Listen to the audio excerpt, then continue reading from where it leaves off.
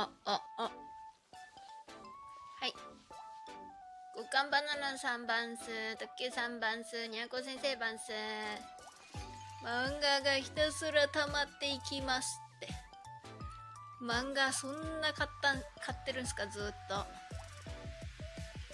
撮っててまあ、どうなんだろう、読み直しすんのかな。スージーはさ、漫画もう見ないやと思って、実家にいた時売ったよね。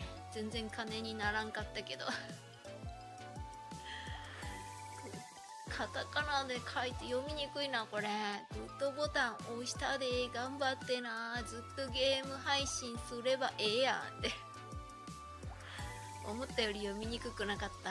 間開けてくれてたからね。ゲーム楽しいんですけどね。時々は雑談してなんかなんて言うんすか。なんだろう。なんか最近の配信は割となんかリスナーさんと話しにくいゲームだったというかまあ大体 RPG してるからさそのなんかまあ結構やっちゃってはいるんだけど途中途中でさそのゲームの話を区切ってというか途切れさせてリスナーさんとお話ししちゃうとわけわかんなくなっちゃうからね。だから RPG ばっかだとねどうしても話ができないんで。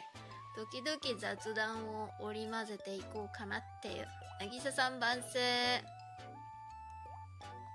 で、さらにまた RPG 始めようとしてたりしますからね。もうなんか最近とことん RPG なって FPS とかから離れてるからな。まあ時々スイカゲームしたりしてたけどね。ねえ、マイクラもね、なんだかなって感じだしね。楽しいけど楽しくないみたいななんか微妙な感じなんだよね。でもなんかそのスージーさんがやりたいゲームが5個ぐらいあるみたいなツイートをしたんですけど その新しいゲームね多分 RPG 系ばっかりやけどあ1個ねほんとマイクラみたいのがあってそれも気になっててね。まあ配信していいかまだわからんけど。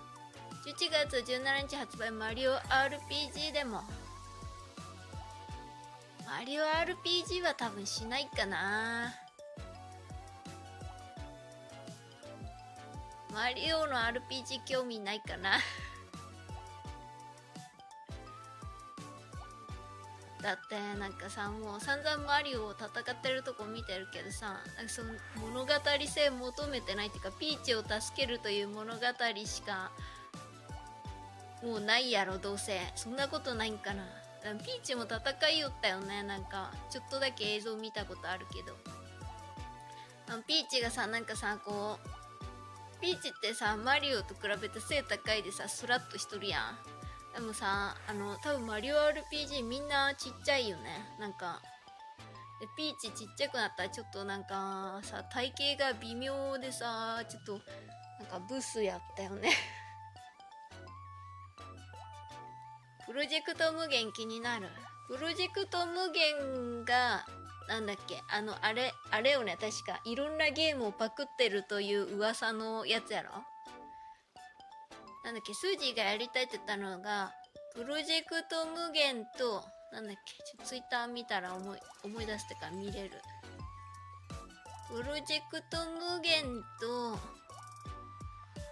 どっかかい、あれ、どっか、どこだっけ？どっかにあれツイートが出てこない？ここかな？あれ？プロジェクト無限とゼロ？じなんだっけ？ゼロなんちゃらかんちゃらなんか ZZZ みたいな略し方をするやつ。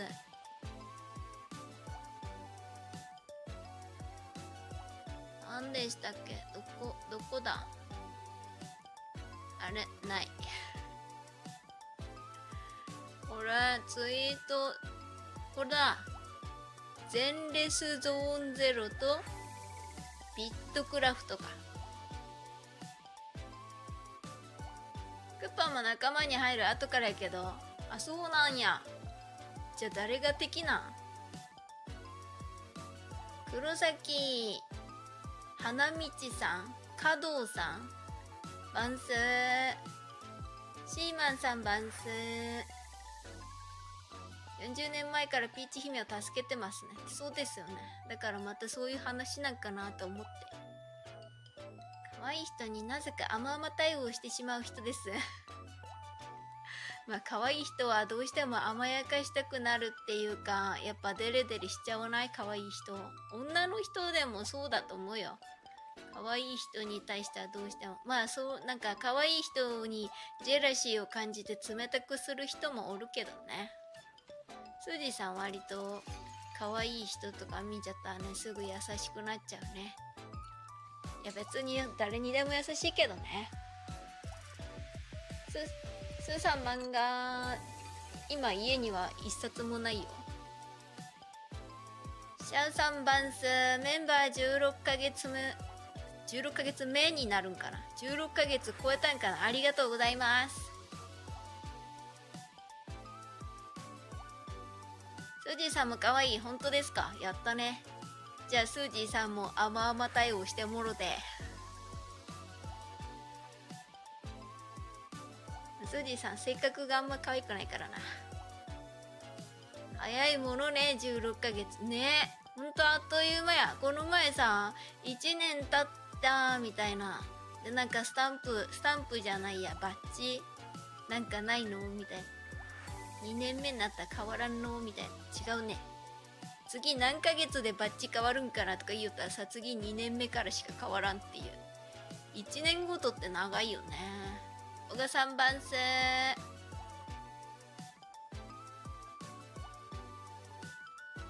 次どんなデザインにするかね悩みますね最近。絵も描いてないし。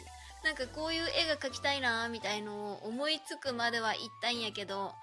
書く気にならんしさ最近始めたゲームがさ初見さんがいっぱい来てくれるから調子乗っていっぱい配信しちゃうよね。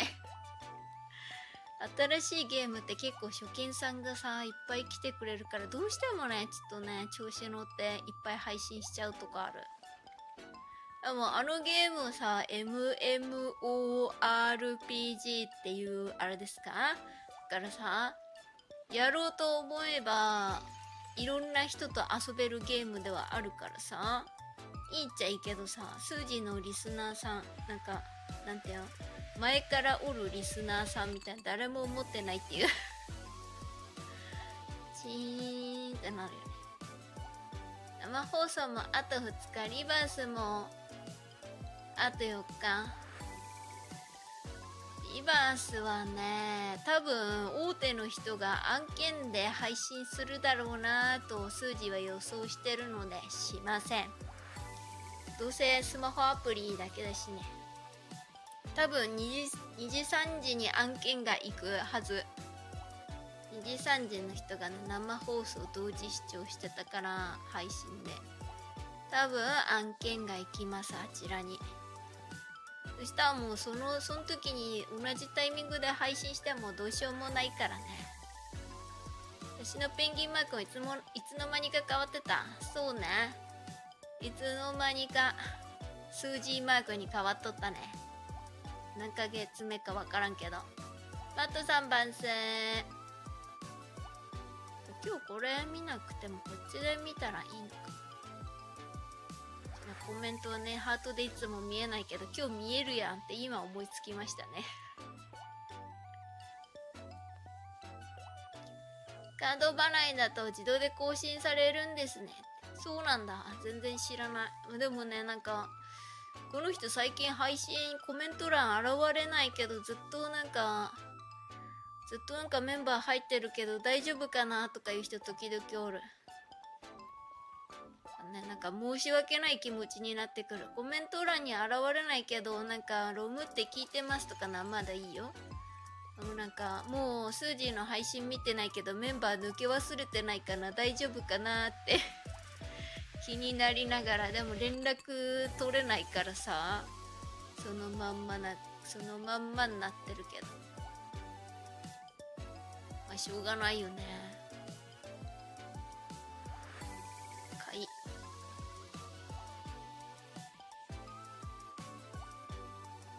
最近ねなんかねほんと掃除掃除しなきゃ掃除しなきゃっていう頭でなんか今日はここしよう今日はここしようってねなんかちょこちょこ掃除をするしている今日この頃。だいたいなんか床掃除とトイレ掃除とお風呂掃除くらいはいつもしよったけどなんかなんていうなんか今までたまにしかしなかったっていうかごく稀にしかしないところを掃除しなきゃっつってなんか頻繁に掃除するようになるっていう。感じになってなんか。もうでいらないものも捨てなきゃってなってねなんかすごい。でも考えてる。これ本当に捨てて大丈夫かなって考えてなんか 捨てなきゃと思った割に捨ててないっていう。化粧品と服とちょっとずつ捨てたけどその他はねちょっと使い時を考えながらって感じやね。あと毛糸のパンツな。毛糸のパンツをねこっち福岡よりあったかいからもういらんかもしれん。捨ててもええんやないって思ったけどまだ冬工場冬寒いかなと思ってちょっとね捨てるの躊躇してるよね。いっぱいあるんだよね毛糸のパンツ。ハードオフへ持っていこう、ね、ちょっとでもお金にした方がいいみたいのあるよね。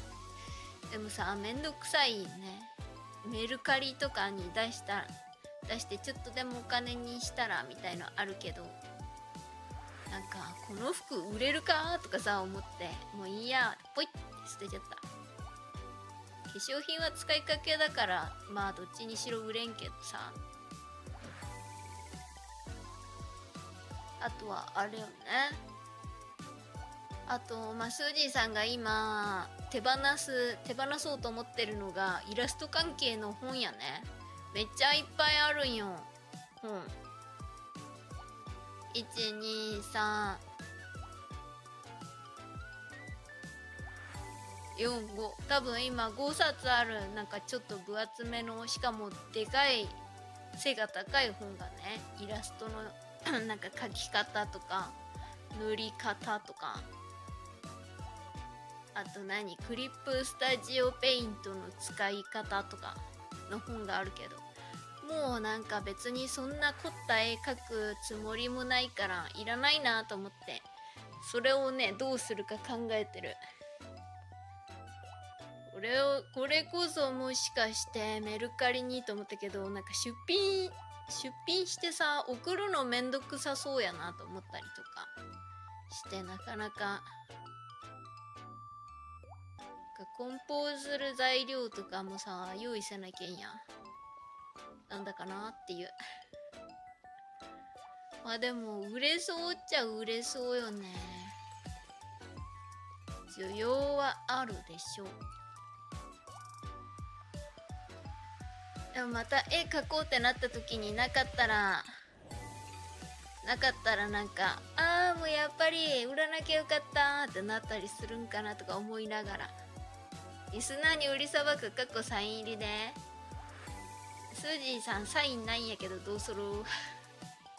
サインを考える配信とかそのうちする？でスージーさんの本ですって。毛糸売れますかね？毛糸のパンツ。毛糸のパンツは売れないんじゃない？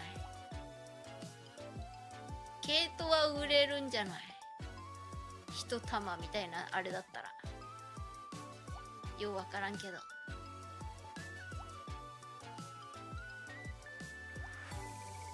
毛糸のパンツはまあね別に直履きするわけじゃないからさ。下着の上から履くからまあ別に汚くはないやろうけどさ。伸びたりするからね。無理やろね。と考えますと毛糸のパンツはこうまあ今シーズンの冬今シーズンじゃないね。来シーズンだね。冬は。まだ秋だ。来シーズン履かなかったら捨てようかなぐらい。あといらないものはよくわかんないけどね。あでも物がなくなるっていいよね。でも物がなくなるのいいけどスージーさん今めちゃめちゃ服欲しくてうわ服買いたいなって今日もねアマゾンでずっと見ててこれかわいいなどうしようかなやっぱやめようかなって言って何も買ってない。なんか最初ワンピースが楽だからワンピース買おうと思ったんよ。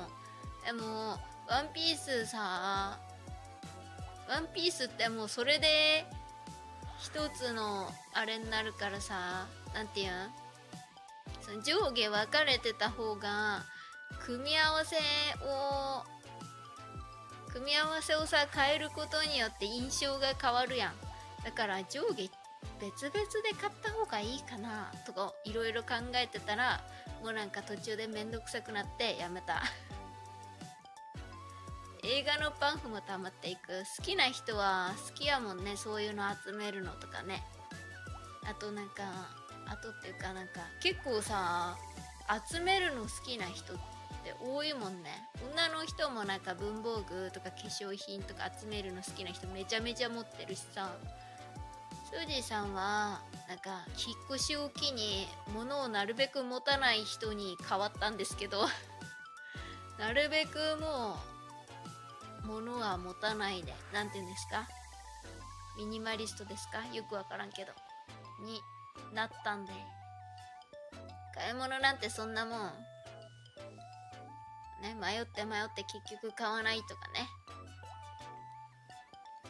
ねお店に行ったら多分買っちゃうんよ。せっかく外出したのに何も買わんのもなとか思っちゃって。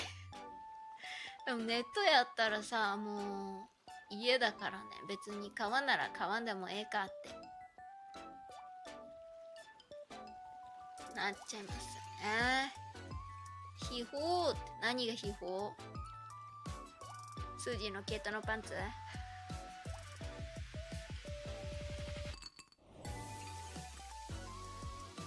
ローサンバンス掃除は大事そうね。なんか精神的にもいいらしいよね。中澤さんバンス。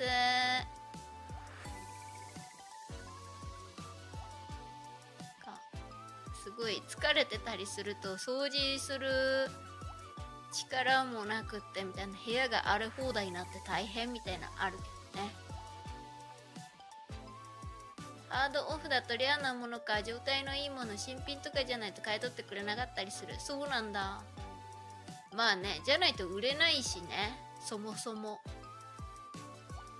昔集めてたデジモンカードが少し価値が出てて処分保留になった。なんかねカード系ってなんかこう状態保存が良かったりすると結構高額で売れたりしますよね。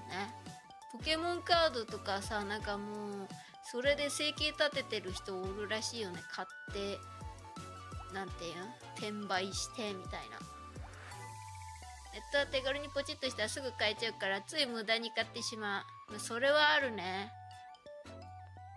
ってあっという間に買い物終了するし疲れんしね。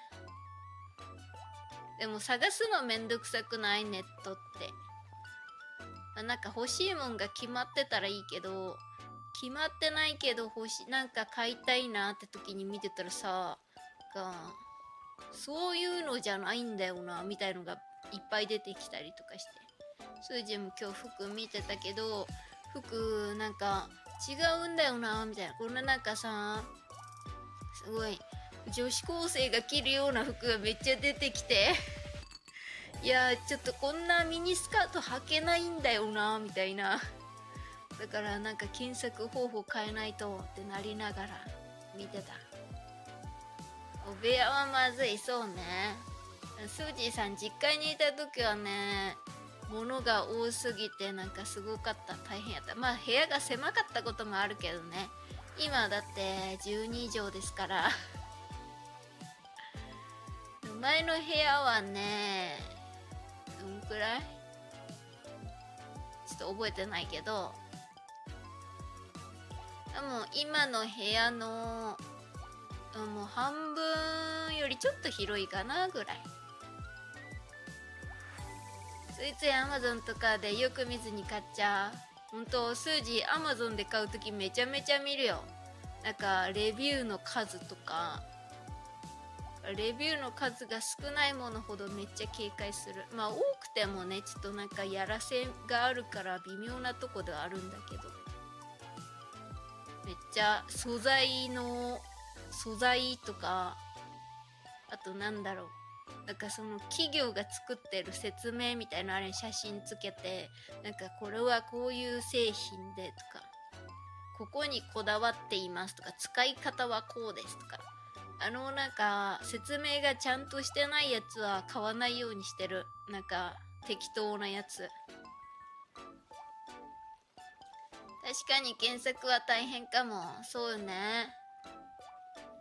なんかうまく検索してもさその売る側がさあのー、なんかいっぱいその検索で表示されるようにタグ付けかなんかよくわからんけどあれで全然違う。いやそれ全然違うやんみたいのが出てきたりとかあるよね。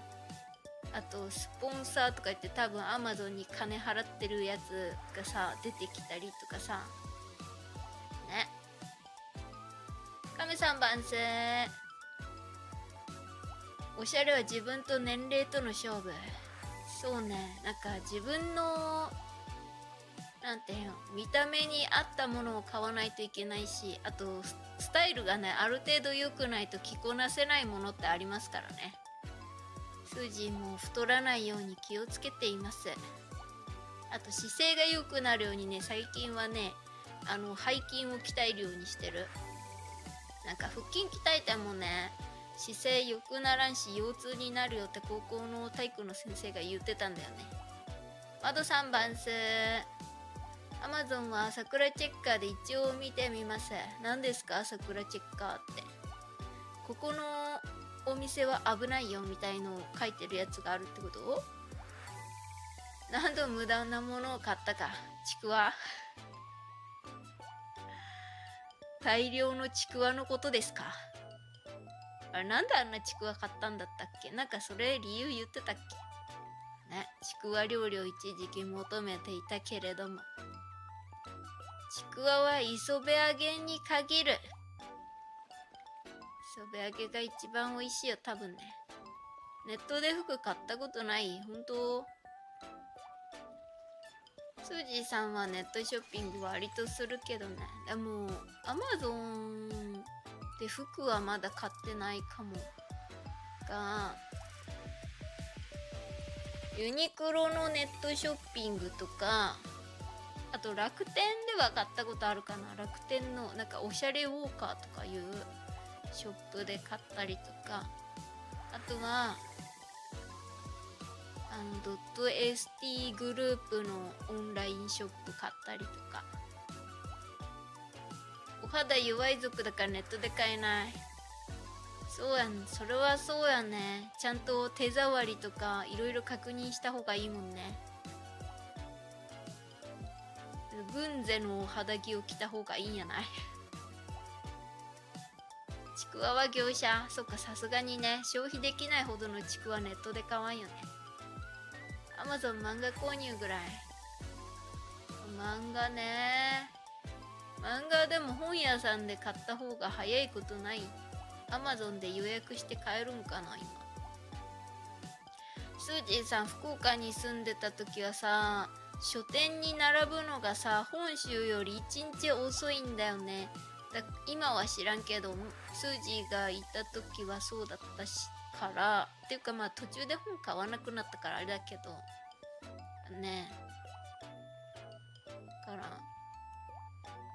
しなんか発売日にワクワクして行ったらまだ入ってないみたいな結構あった。九州ってなんで一日遅いの？インナーシャツの形に肌赤くなった時さすがに笑った。やばすぎじゃんそれ。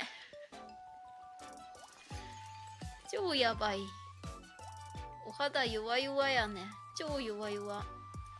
苦労しそうや。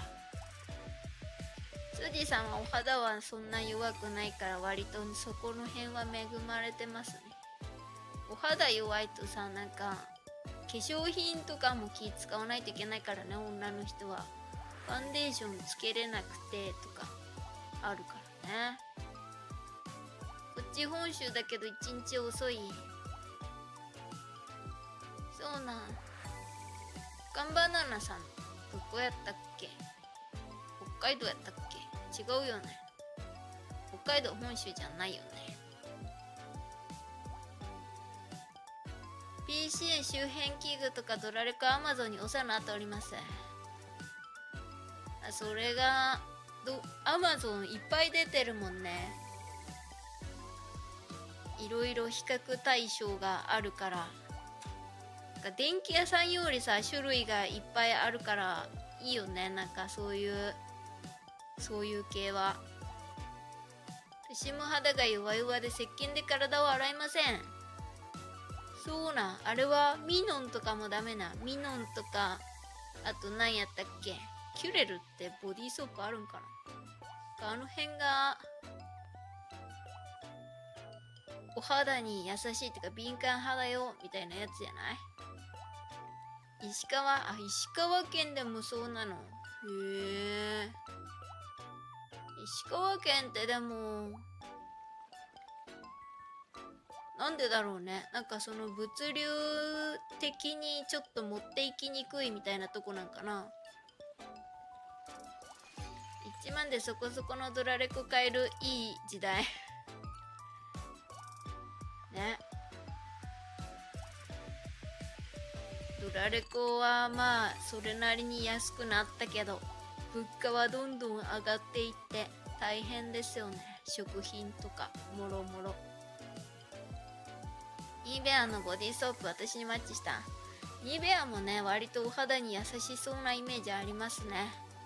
ニベアでもあの青いカンカンのやつがめちゃめちゃなんていうの流行ったからね。あれのイメージしかないけどいろいろあるよね実は。日焼け止めとかさ。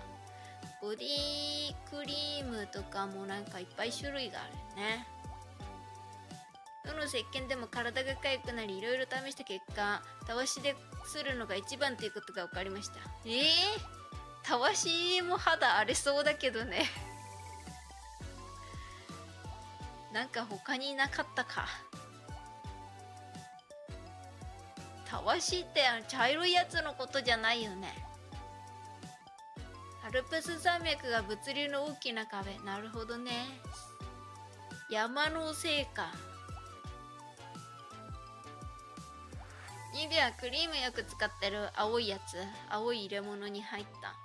スジさんはねニベアの良さはよくわかんないからね。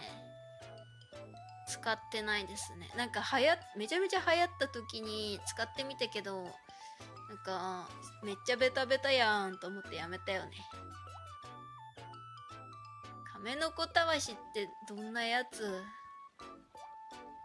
体用のたわしってこと？5年前から石鹸やめました。あ別に石鹸やめてそれでお肌が健やかならいいんじゃないですか。ニベアのロイヤルクリーム使ってたけど結局皮膚科のローションしか勝たなかった。まあね市販のやつどうなんだろうね。なんかまあ探せばあるんだろうけどがドラッグストアで売ってるやつじゃないかもね。なんかネットでそういうお肌弱々の民のために作った石鹸ですみたいなさちっちゃい企業からもしかしたら出てるかもしんないけどね。パーロングセラー元祖たわし。100均で売ってる茶色い普通のたわし。そんなもんで肌こすったらめっちゃ荒れそうだけどね。痛そうだし。なんかせめてさガーゼとかでした方がいいんじゃない？ガーゼの方がいい気がしますけどね。ガーゼタオルみたいなさ。お肌弱々の割にそんなゴシゴシこすったらダメでしょう。血が出そうなんだけどたわしではたわしで体洗ったら筋絶対無理。冬は乾燥手がひび割れひどいから夏はベトベトになるから使わない。さすがにね。そうねやっぱニーベアってベタベタなるよね。スージーさんもねなんかその今工場でどうしても水手が水に濡れて皮がめっちゃむけるんよ。だからねヒルマイルドを塗ってますね。食器の汚れ落とすやつやぞ亀の子たわし。そうなん今でも食器の食器洗うのにも使わんよ茶色いたわしなんて。えみんな使ってる？スージーさんは茶色いたわしなんて使ったことないよ。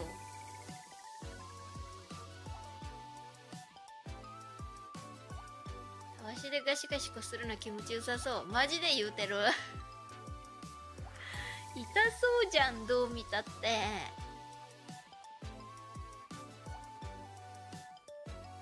色黒だけど裸最着身どういうこと？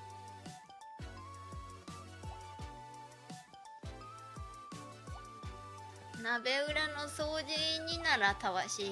あーまあなんかこびりついちゃったりしたらねいいかもね。焦げとかがね。肌はガーゼぐらいにした方がいいよ。なんかねなんだっけ。裸じゃなかった肌。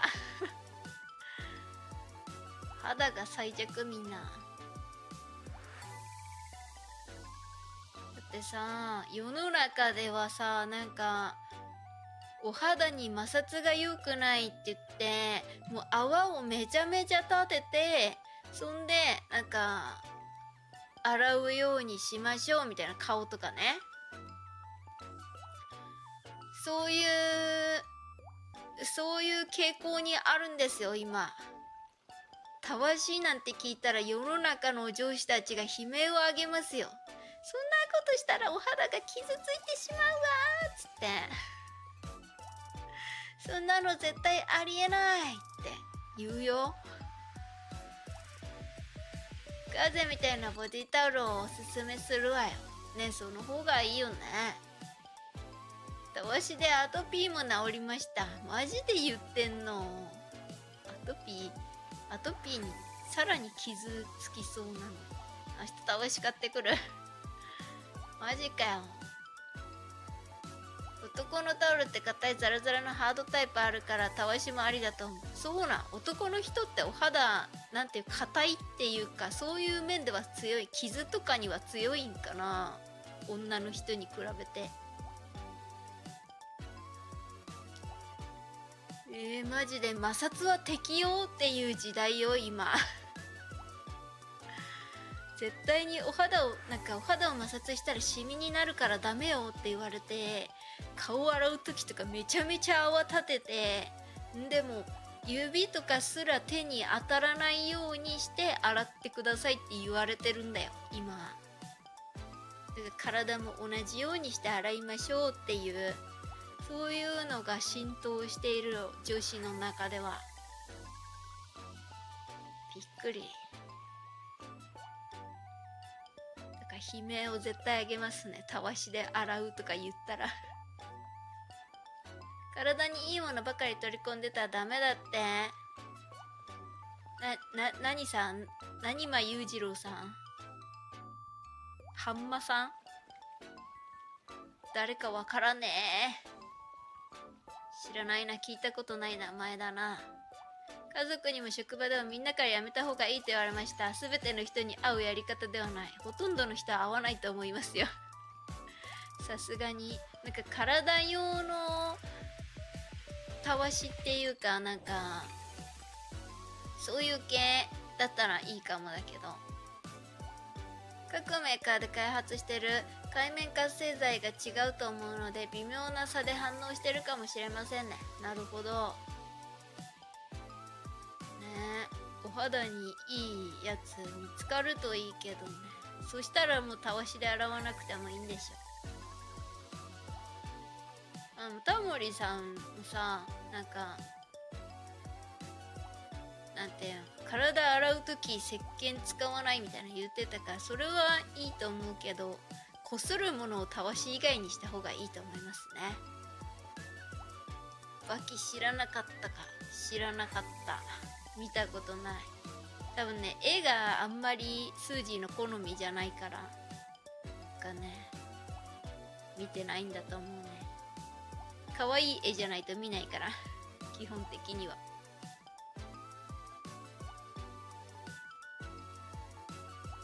これも薬品に対しては負けるけどハードにこするのは平気。そうなん。なんやろうねそういうの。なんかあるんやろうね。摩擦には強いみたいな。そういう薬品がダメだけど。へ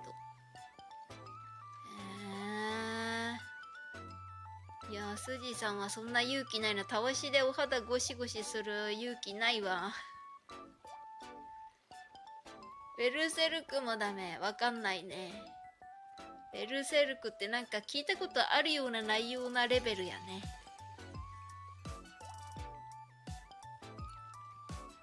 近は新しいアニメとかも特に見始めてないしな。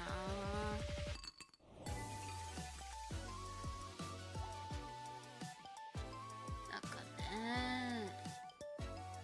めちゃめちゃ暇で1ヶ月お休みですとか言ったら多分アニメとか見てるんだろうけど。もうね今配信配信配信ってなってるから。ジョジョも見てないね。知らないね。本当はねお昼に APEX の配信しようと思ったんよ。でもお昼にななんだっけ？あそうあのね切り抜き動画を作らなくっちゃと思って切り抜き動画作ってたんよ。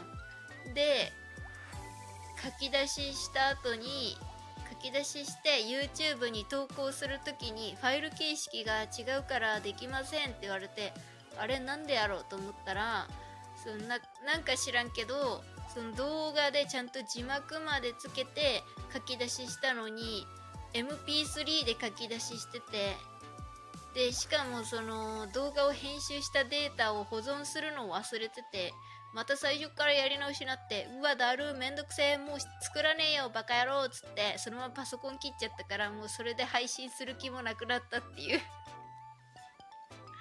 それで今日 APEX の配信しなかったんですよね。アトピーで爪かくと皮膚がボロボロになりますがたわしだとかゆみも消え皮膚もボロボロになりません。なのでかゆいところはたわしでこするのがいいかも。そうなん。なんやろうね。まあ爪ばい菌とか入ってるかなとかも思うけどさなんやろたわしの何がいいんやろうね。わからないわ。作者亡くなって最新の42巻が出たけど色塗りがやっぱ違った。そうなん。作者亡くなってから最新巻。亡くなる前に書いてた最後のやつってこと？やっぱ違った？まあ違うよね。人が違えば色の塗り方違うからね。音源ファイルやんけ MP3 そうそうそう。びっくりしたわ。なんで字幕までつけてるのに MP3 なん？だ M MP3 でどなんていう書き出したことないはずなんだけどな。よくわかんない。悲しかったから作るのをやめるっていう。ダースクロップ3番線まあでもあんまりね最近そのなんていうん切り抜きでショートにして面白くなりそうだなみたいな場面があんまりあんまりっていうかほぼほぼないからね。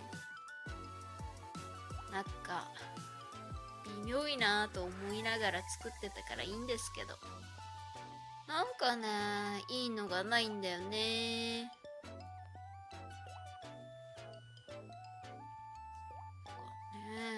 切り抜きじゃなくて普通にショート用で動画を作らないといけないのかなと思ったけどそうなるとさまた時間取られるしなみたいな。しかもネタが別にないからなっていう。後継者が引き継ぎ連載してますゴルゴのように。あそういうことってあるんだ。ゴルゴ見たことないから知らんけどさ。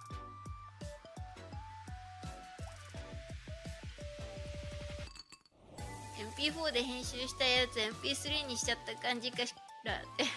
さよなら作業時間。ほんとよ。めそれなりの時間かかったのにさやめてほしいよね。かショート動画また作るのやめちゃったよね。YouTube くんがショート動画作りなよ。作りなよってめっちゃ言ってくるけど。もうやめたよね。まあ、ショート動画を作らなくなったせいでチャンネル登録者数がちょっとずつちょっとずつ減ってるんで良くないんですけどね新しいゲーム始めてちょっと増えてでもやっぱりショートのショートでしか見てなかった層が減ってるから「わやった増えた!」と思っても次その数分後になんか1人また1人って減っていくっていうふざけんなよと思いながら。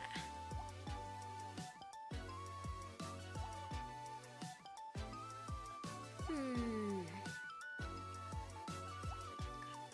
まあ別にそういう理由で新しいゲームを始めたいわけではないんですけどね。普通にやりたいからやるっていう。ただ時間がないからいっぱいやりたいゲームあるのに全然できないからもうさっさと大金を手にして1日3回ぐらい配信できるしたいですね朝活昼活夜っていうもうきゅうりマスタードやらないんですかきゅうりマスタードになってるきゅうりマスタードねあれもうよくない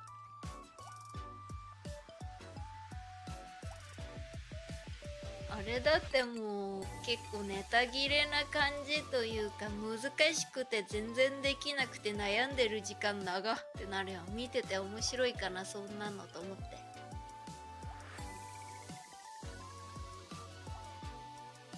きゅうりマスタードを全然わからんやった最初。きゅうりマスタードってなんやろかと。思ってきゅうりマスタード美味しそう。白菜。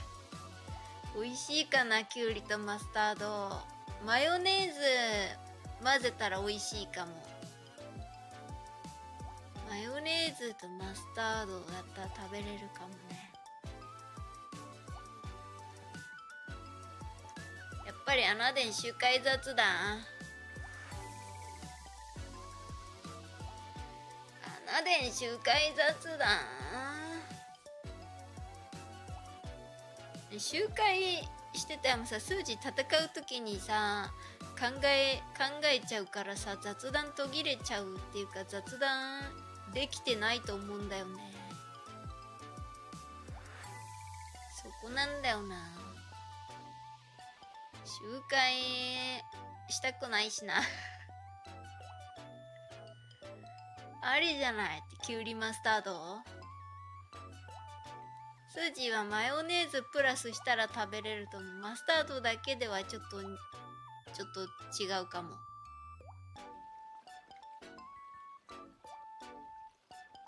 まあ家にマスタードもきゅうりもないけどね。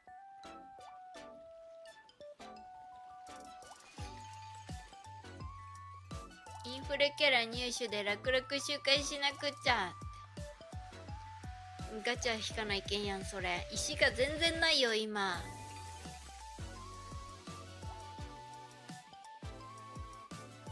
からしマヨ何につけても美味しいからダメ。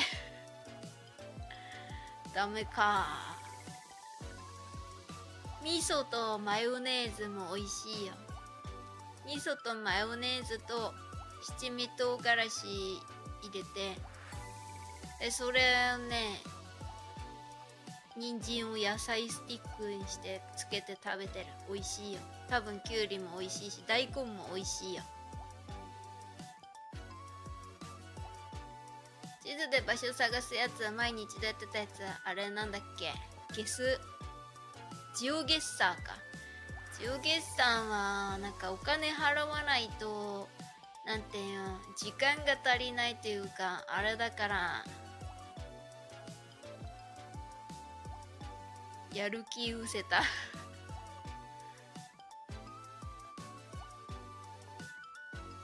眉はカロリーカロリーの暴力は美味しい。眉がダメなのかもしれない。そうかもしれない。マヨネーズね。ほんとマヨラーと呼ばれる人って何にでもマヨネーズかけるじゃん。そんぐらい美味しいからね。あれはすごく何て言うんですか。恐ろしい調味料ですよ。桜島大根めっちゃうまい食べたことないわ。食べる機会がないもの。売ってないもの近くで。なんか一時期さマヨネーズ何にかけたら美味しいかみたいな。テレビ番組でやってるの見たことあるんだよね。いや3番すなんかヨーグルトに入れても美味しいとかって言ってて多分やってみた気がする。もう味覚えてないけどね。でも普通にヨーグルトとマヨネーズだった気がする。なんか生ハムにマヨネーズ美味しいよとか言われて生ハムってもともと味濃いのにマヨネーズつけちゃうんだと思ったりとか。初見だけど OK ターボーさんはじめましてバンス。全然初見さん別に何も書いてないけど大歓迎ですよ。なんか大体初見さん歓迎とか書いてるけどね。ちょっと書くの別に書かんでもいいやろうと思って書いてないだけです。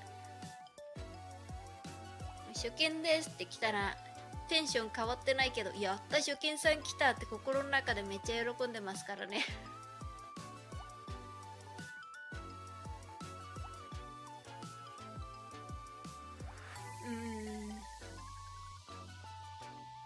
そういえば昨日ねあの宣言通り業務スーパーに行ったんですけど業務スーパーでねあのスージーさんはあのなんだっけ梅しそ味なのかなあのチキンカツが好きなんですよ業務スーパーの。だからそれを買おうと思って行ったんやけどなんかバイバイ時どうしたなぎささん。晩ご飯の時間？なんかね。なんだっけ？そんなそう普通のチキンカツはセールで安かったんよ。でも梅しそカツは安くなかったから買う気が失せて。違うの買ってみようみたいな感じで。普段買わないのを買ったりしました。変なの売ってしまった。打つ気がないやつついてきちゃったんだ。梅もしそも苦手な私には一生食べられないものね。そうなんだ。酸っぱいのとかがダメってこと？今日はねあれですね。あのメンバーシップ入ってる人が多めにいるから初見さんいらっしゃいができたね。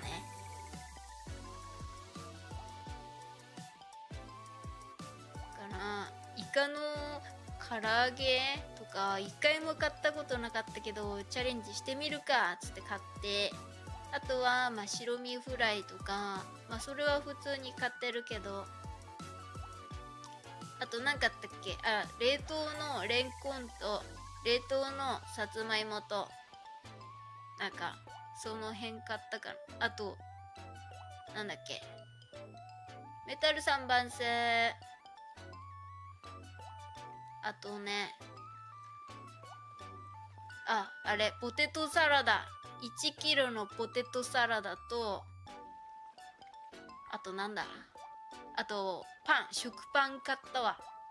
とあと外国のお菓子ね。食パンは切って冷凍したちゃんと今後毎日1枚ずつお昼ご飯になっていくっていう。なぜ食べられないかって聞かれるとわからないんだけどなんか苦手。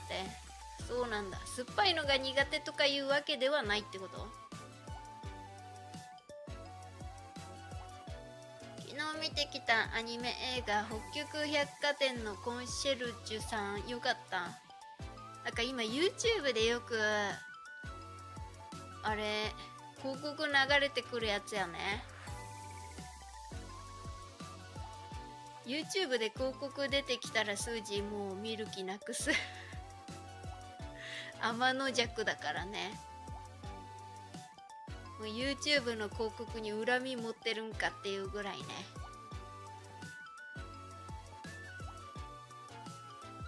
1キロのポテトサラダ。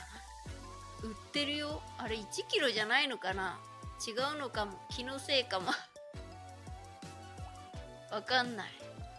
そう言われたら自信がなくなってきた。何それ。だ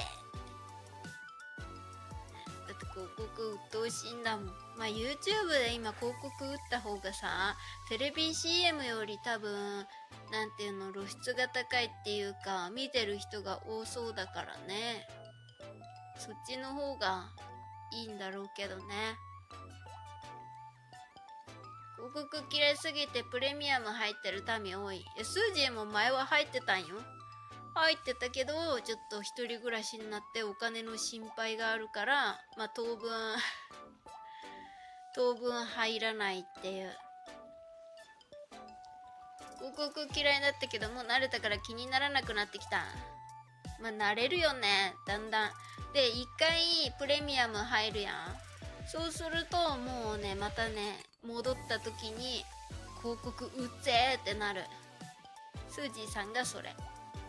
がもともとはその歌ってみたとかをあのー、聞きながら通勤とかするのにちょうどいいわと思ってねプレミアム入ってたんやけど。やっぱね広告ないとねそれはそれで快適やーってなるからね。回プレミアム入ったらもう抜け出せないし抜け出した後もうイライラする。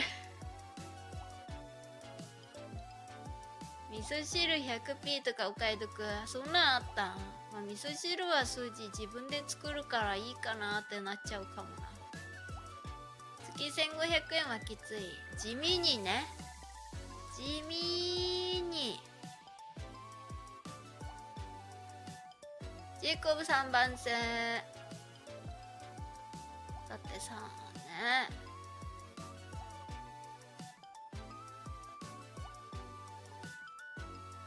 アドブロック入れたけど最近警告が出るようになってきた。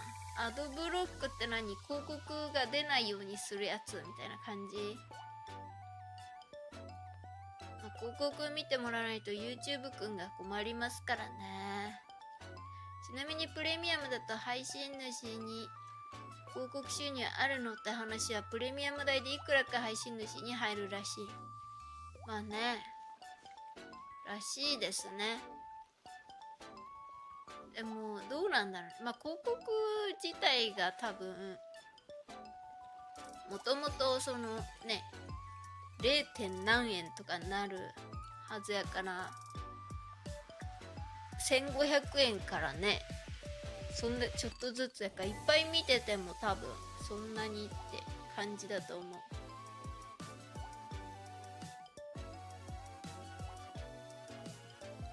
だんだん広告見る時間増えてきて深い。なんかね長くなってきたりさ前は1個しかなかったのに2個広告挟んできたりさいろいろ困りますよね。スーさんの時アドブロック切っていました。あそうなんすか。広告費ちょっとでも入るように。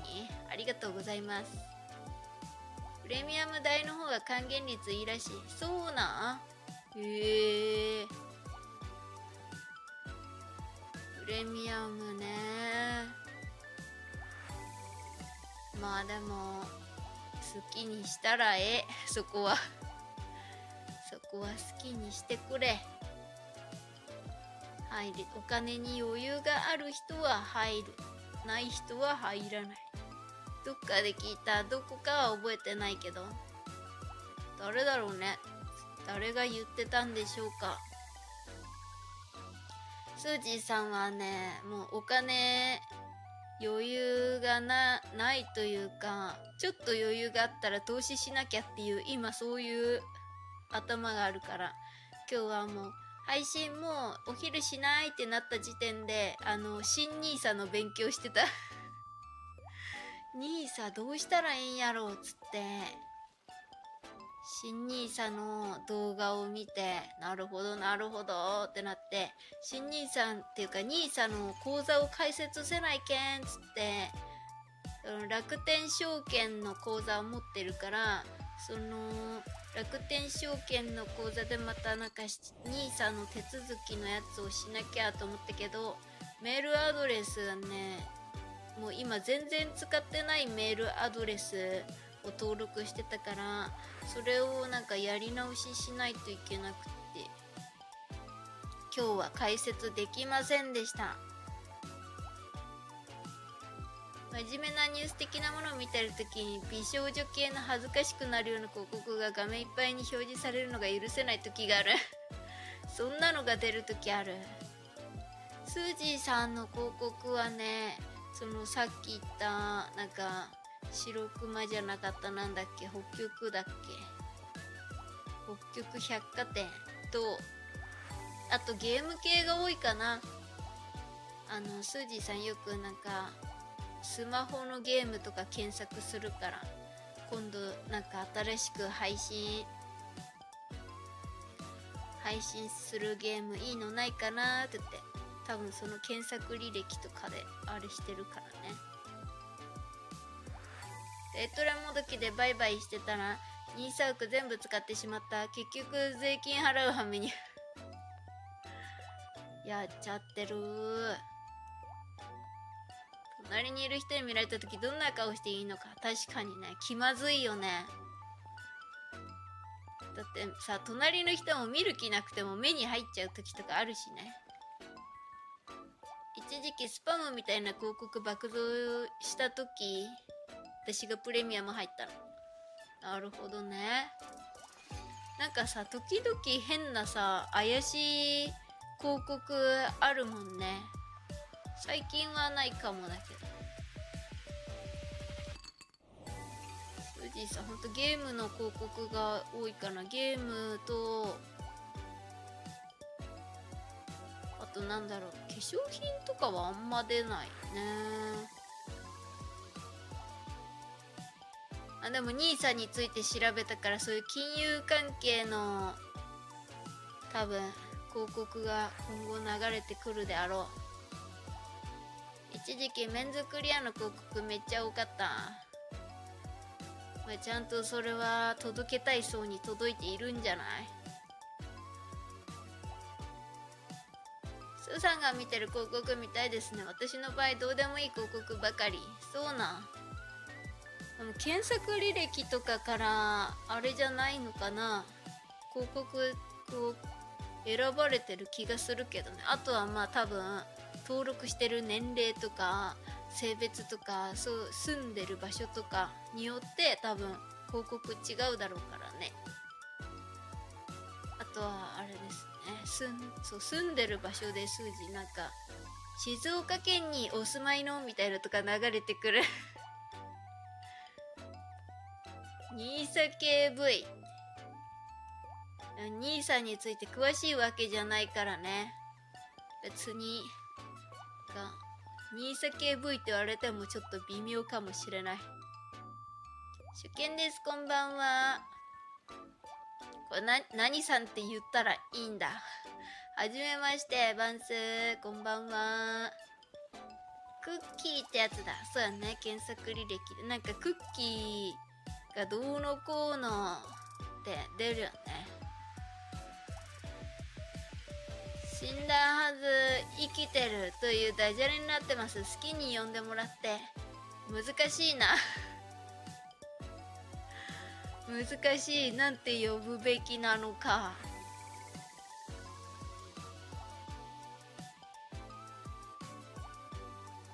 じゃあ生きてるさんにしよう。てるさんってねちょっとあのゲームの配信してる時に別のリスナーさんでいるからな。生きてるさんにしよう。嫌な名前よね実際 自分でつけたんじゃないんですかそれは。最初のうちは英語の文法をチェックしてくれる。何？グラグラマリー？広告ばかりでした。それで入れてみたけどかなり使えます。へえ広告も悪いもんばっかりじゃなかったということですね。前でフラグ完結してるのすごいわよねって。ちょびっくりするよね。だから2人で2人で1つのアカウントかなとかいろいろ考えたけど。YouTube の広告が役に立ったところ今のところほぼない。あ本当？まあ、スージーさんはねゲームの広告が出てくれるのは大変助かりますね。一応そのゲームを調べてみてどうしようかなってなるし。アナデンはそもそもまあでもアナデンはね多分 YouTube じゃなくて TikTok の広告で見てでするかしないかっていうのを決めたから。グラマリー。英文法とかスペルミスとかチェックしてくれます。そうなんだ。スージーさんでも英語を使う時がないからいらないな。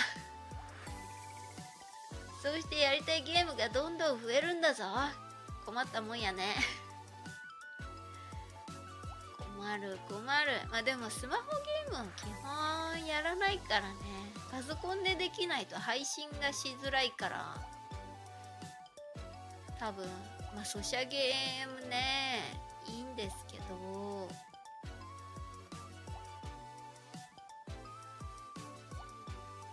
まあでも今のところ4つ5つ4つやりたいゲームがありますから4つでまだ3つはねあれだからあの発表されてないなんか予約みたいなしかしてないからね。いつかわかんないからいいでしょ。じゃあ5個だ。で3つが事前登録が終わってて1つがなんかもしかしたら今年の年末ぐらいに発表されるかもねっていうのが1個その事前登録とか別のゲームでもう1個がもう今合ってるけどちょっとあの、ソシャゲだから配信ができないできないことないけど厳しいかもなーみたいなやつ。ホラーしようって。ホラーはちょっとねちょっと夜トイレ行けなくなっちゃうんで困りますね。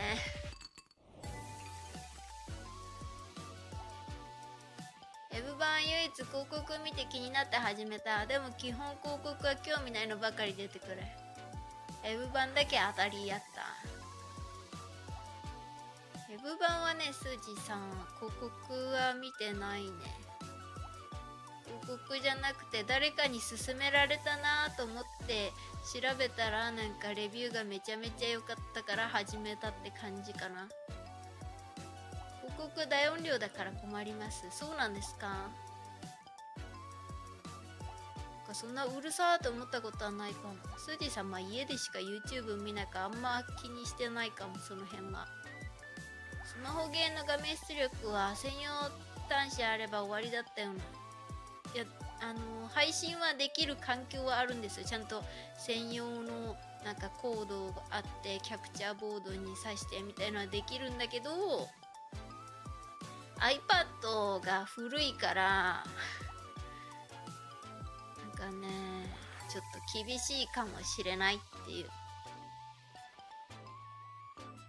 でスマホはねちょっとあれだからあの、スージーさんの顔を映すのにね必要だからもう一個 iPad 普段 YouTube 見てる iPad であれしないといけないけど iPad がね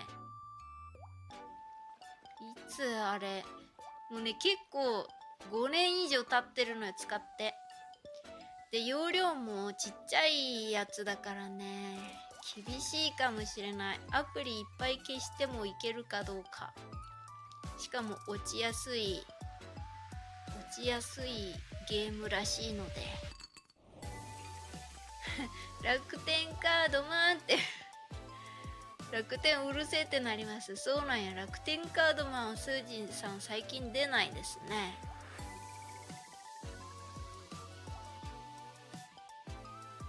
楽天ね。もうだってスージ楽天カード持ってるし。楽天カード持ってるし楽天証券の口座もあるしあとは兄さんの口座を開けるだけ。うんね月今なんていう積立て NISA で月いくら投資するかっていうとこだけが一番の問題ですね。月いくらだったら家計に影響なくいけるのか。前よりは音量小さくなってて改善はしてる？あそうなんだ。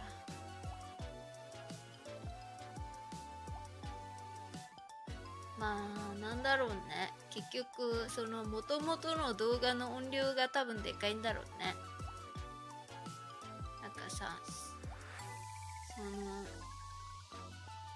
音楽とかもだけどさその曲によってさなんか音ちっさみたいのあるやん。そのなんかなんていうんサブスクライブ？サブサブスクのさあれでいろんな音楽をさ自分のプレイリスト作った時とかさなんかたまにない？曲？なんでこの曲だけこんな音小さいみたいな。そういう感じやろ。それの逆版やろ。楽天カードの CM だけなんかその音が大きいまま提出しちゃってそれを YouTube 側が調整してなかったんやろ。ASMRZ にとって楽天カードはマジで地獄。そうね。集中してさなんかちっちゃい音とかでさ聞いてたらさいきなり爆音なるんやからそれは地獄よね。NISA は貯金のつもりでずっと保有するのがいいんでしょうね。配当がいいやつをただ今株が高騰して暴落するのではと思うと怖い。そうですね。NISA はか30年とかまあ自分の年齢にもよるけどなんかお仕事を定年する時に時ぐらいから切り崩せる切り崩しながら生活して何歳まで生きられるかっていう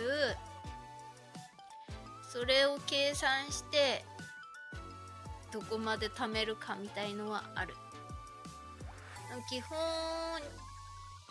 20年とか30年とか持って持ってると大体プラスになるっていう前提らしいね10年未満とかだと暴落した後の上がるまで行かない間に売ってるってことだから損するよね。あの30年とかだったらだいたい1回暴落しても持ち直して自分が買った時よりは高くなるのが大体のあれらしいからね。まあでもあれって言ってましたよあのどっかのなんかどこどこの会社の株じゃなくってなんかなんていうそのアメリカの企業何個かのを合わせたなんだっけなんとかファンドみたいな。あれああいうのを買った方がいいよみたいな言ってたよ。インデックス投資多分それですね。かな。なんだっけ。イーマクシスがどうのこうのみたいな。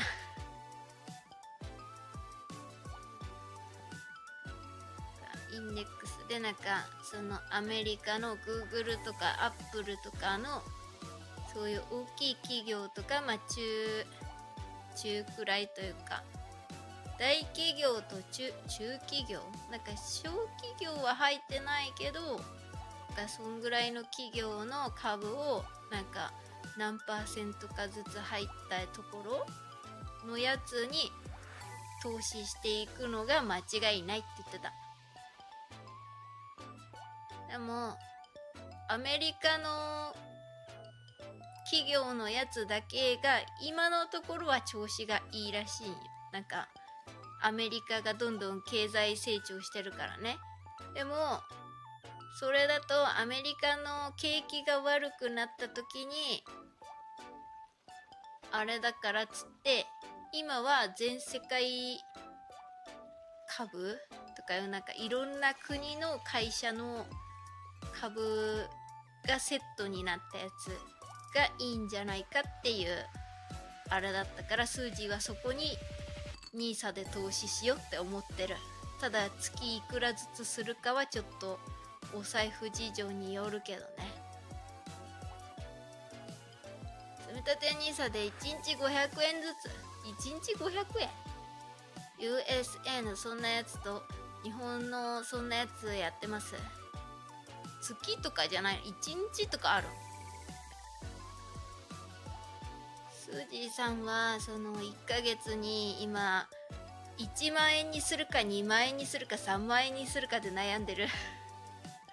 できるだけ多い方がいいから本当は3万円いったらいいと思うんだけどでもなんか今の会社今年さ病欠めっちゃしまくってるから。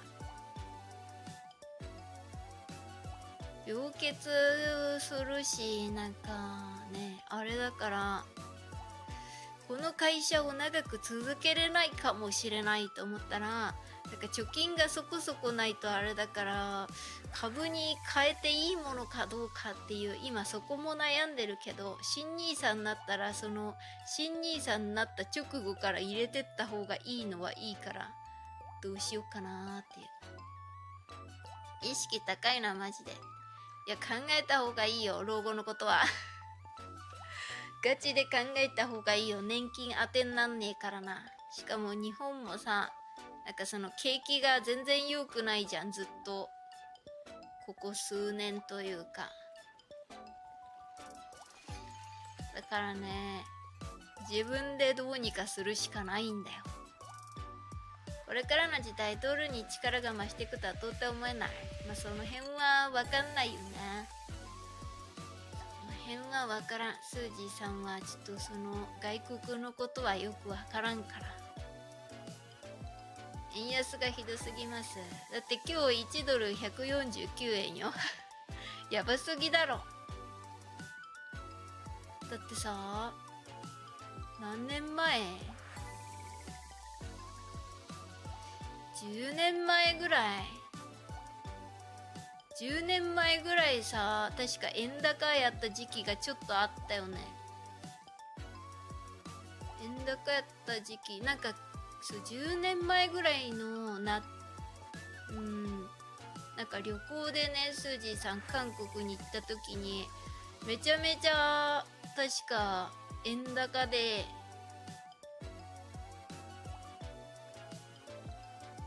スージーさんはそんなこと考えてなかったから帰ってきた時にそこをまた両替してしまったんやけど。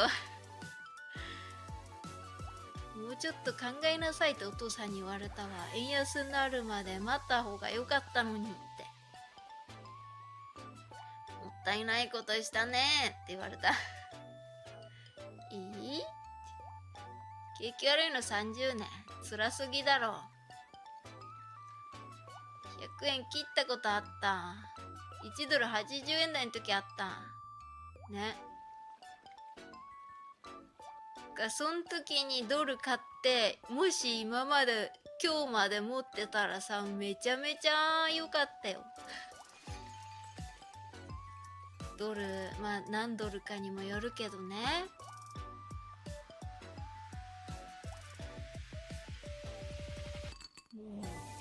そうなんだなんかそれを考えるとさ今外国の株買っちゃったらさそのドル換算になるからさその後にさこう株がめっちゃ上がったとしても円高来ちゃったらさ損になるかもしれんやん。多少は。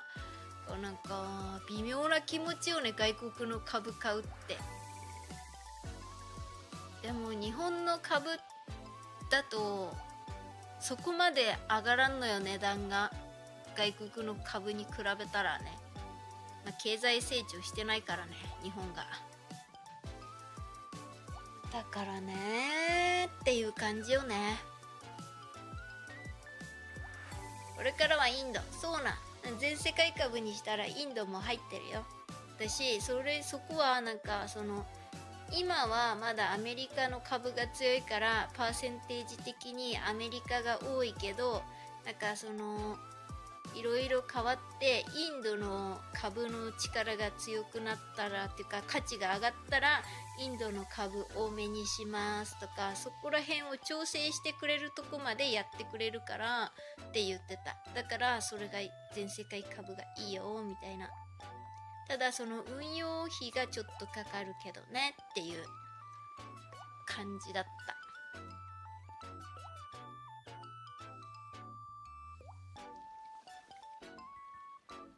まあでもスージーさん宝くじ当たるからな。別にそこまで気にしなくてもいいけどね。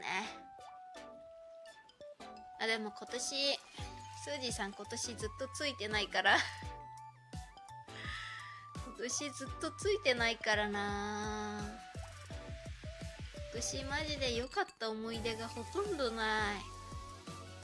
っていうぐらい我慢の年だったわ。かわいそうに自分でもかわいそうになってくるわ。実家出るのが早すぎた。前役どうやろうね。前前役ですとかさ今年役年でしたって言ったら年齢バレるやん。もし本当に役年やったとして。だって役年とかって年齢決まってるやろ。女の人は何歳と何歳と何歳と。文章が反映されない。YouTube 君にブロックされてるよそれは多分。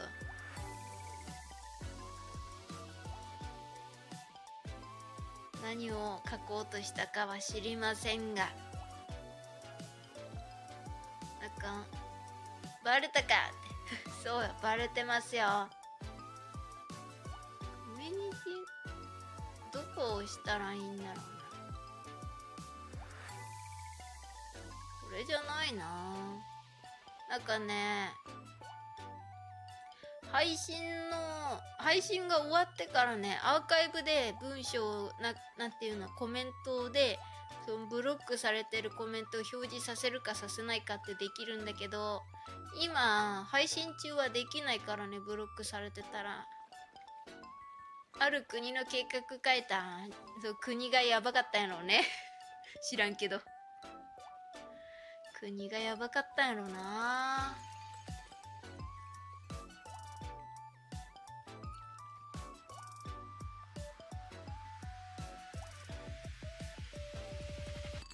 のツイッターはもう閉じてよし。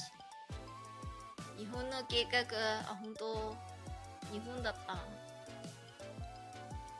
本ね。が景気良くなることなんてあるんやろうか。多分政治家が変わらんと景気なんて良くならんやろつらい。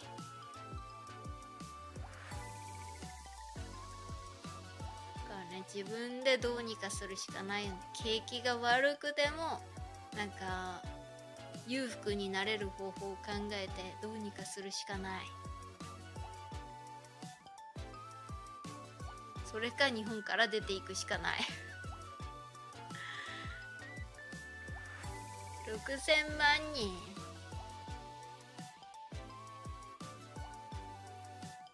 に削減する計画。日本人を。そんな計画があるん。人口はさ多い方がさ普通は経済成長するんじゃないの？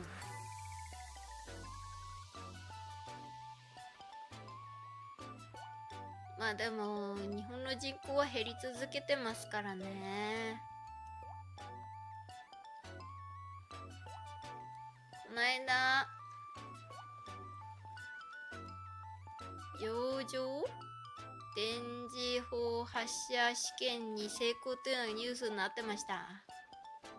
なんでなんかそれこの前なんか言ってたやつの話ですか？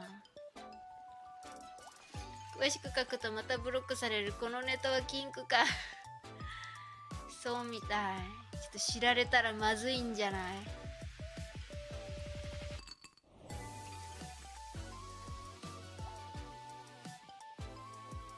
まあでも日本人はどっちにしろ減っていってますからね。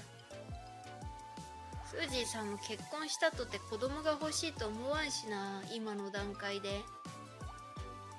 結婚して数年経ったら子供が欲しいと思うのかもしれないけど。二項増加を進めるよりアンドロイドにシフトしていきそう。そういう感じですか？アンドロイドね。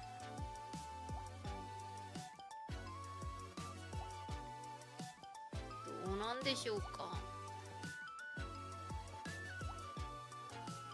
人口が増えた方が経済的には良くなりそうな気がしますけどね。お水。お水飲んだ方がいい。今手元にないんだけど。もうお水タイムやった今、まあ、1時間半ぐらい経ってるからね。ムスージさんこの前さこの前っていうか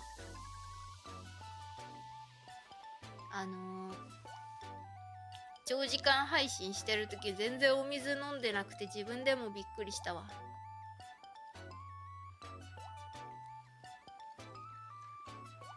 割と水飲まなくても平気だからね。でもなんか今年に入って、まあ、熱中症になってから水分補給を気にするようになってそしたらなんか喉が渇きやすくなったね。よくわからんけど。量子コンピューターの開発促進はその布石そうなの。えー。エルガンアニメの世界みたい。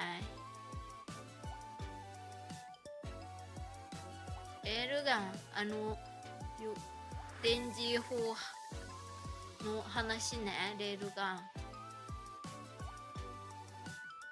そうねレールガン電磁砲よね確か。とある科学のレールガンアニメあるね。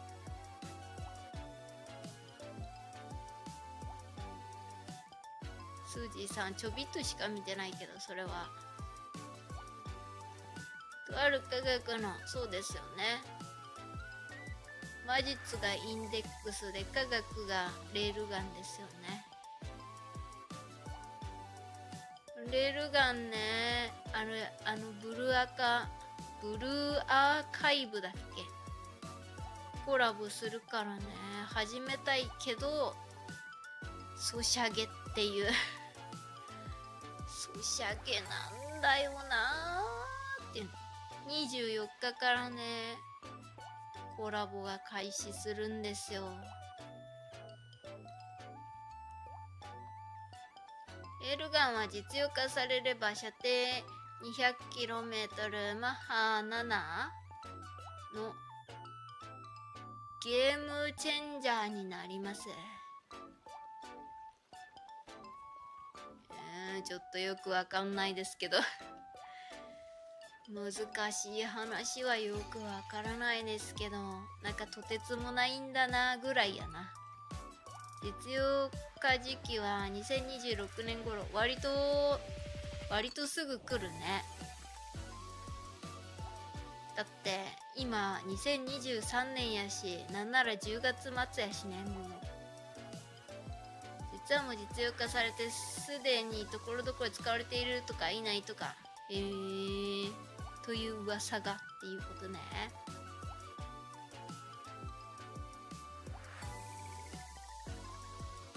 んな話もあるんだ。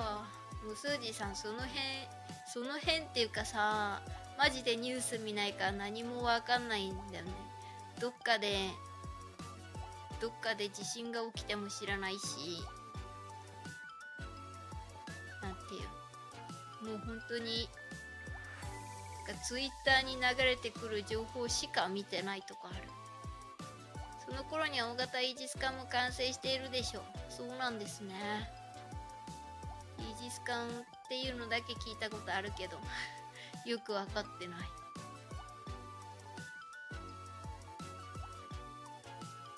まあでもそういうなんかそういうことにもいろいろなんて言うんですか興味を持っていろいろ見てないと株を買う人はそういうのも大事ですからね。まあスージーさんもいいけどもう全世界ファンドに丸投げするけど。ムスク流潜水艦も浸水してるかも。えー、もう話が話についていけないっていう。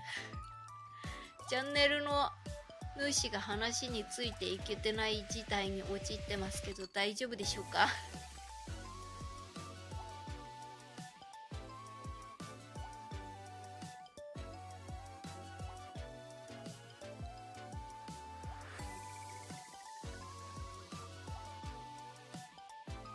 あとなんかそうだな。まあこのチャンネルは基本ゲームの配信が多いんでゲームとかの話をしようと思いますけど何も思いつきませんけど。4株で9000円のキャッシュバックありました。4で買い物しまくり。9000円だったら結構買ってますね。結構買ってますね。0.03%のキャッシュバックのはずですから。スージーさんまだ見てないな。株キャッシュバックの紙来たけど。大丈夫？スーさんの声聞けるだけで幸せ。や本当ですか？スージーさんそんな力あった？じゃあみんなを幸せにするために配信一本に絞って会社辞めるわ。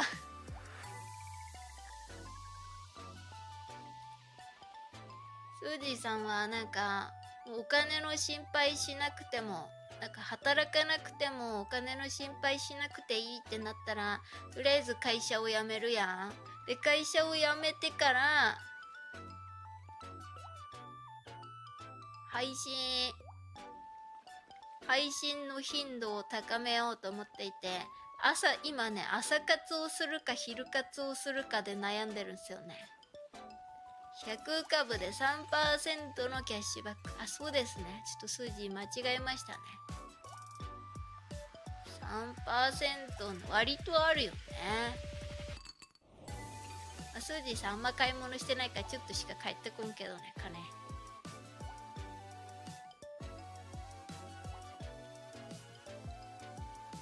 ね朝活をするか昼活をするかで悩んでて多分朝と昼と夜にしたらもう家から一歩も出られんや。それはまずいと思ってだから朝するか昼するかで悩んでるんよね。もうさ先に決めとった方がいいやん。計画は大事やからさ。もうそういう日が来る予定やから無数字の中では。何かしらの理由があって大金を手にして働かなくてもよくなるっていう。もうそういう未来が見えてるから数字の中では。そうなった時に朝と昼どっちがいいかなと思ってて。仕事辞めてしまわれるのですか？大金を手に入れたらね。もう働かなくても働かなくてもっていうかとりあえずお金の心配がないぐらいの貯金を貯金？うんまあしたらまあ、簡単に言うと宝くじで高額当選したらなんですけれどもそしたらもうやめますね仕事は。その代わりに YouTube を頑張ってからもうちょっと収入が YouTube からそれなりの収入が得られるようにするっていうそういう方向にシフトしていきたいですね。最初は朝朝して夜普段通りの配信してにしようかなと思ったけど朝活ってさ割としてる人多いじゃんそう考えると昼の方がいいのかなと思ったり。思わなかったりただ昼ってさみんな学校とか仕事とかだから。かね見る人そんないないかなと思って。もうせっかく仕事しなくなったのに朝早起きするのかとかいろいろ考えたらさどうしようかなどうしようかなってなって。でも確か割となんか通勤中とかに聞いてくれてる人がいたから朝活はまあその今のリスナーさん的に朝活の方がありなのかなと思ったりしている。夕活夕活って何時から何時ぐらいかな。みんなが帰ってるくらいの時間ってことやろ？そうすると夜大変じゃない？夜の準備。夕活したらさ夜ご飯食べてそれから配信ってなるから。あるいは深夜。なるほどね。深夜になると何時なんだ？でも生活リズム崩れて体調壊しそうじゃない？そんなことない。まあでも夜に配信するからね。もう8時から10時はずっと継続で行こうと思ってるから。そうなるとその付近の時間帯の配信したらそのメインの時間がきついなぁと思って。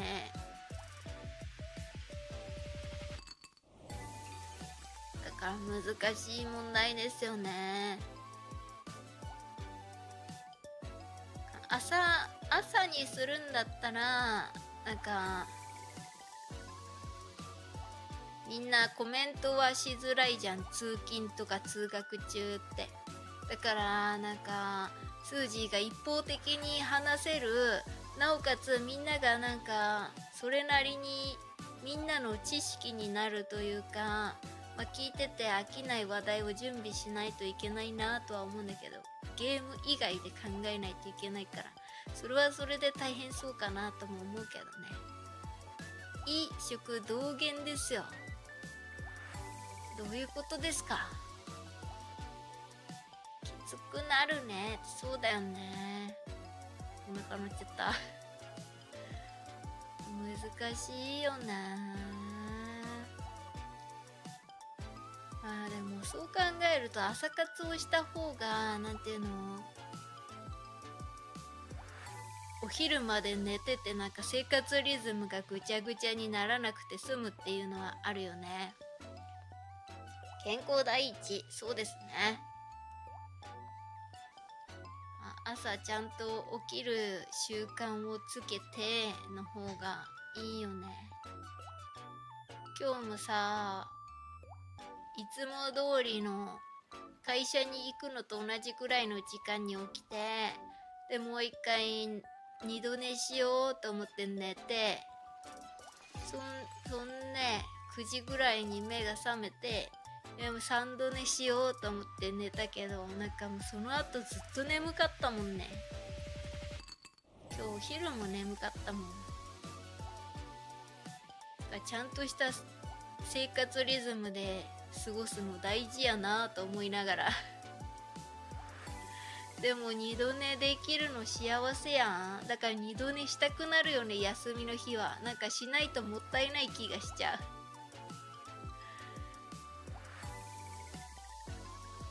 まあ、会社辞めたら別にそんなん関係ないか。仮に朝活を平日するとしてしたらまず何時から何時の時間帯でするかよね。スージーさん前朝活やってた時何時から何時でやってたんやろ。毎日5時起き。スージーそんな早く起きたくない。そんなに早く起きたくない。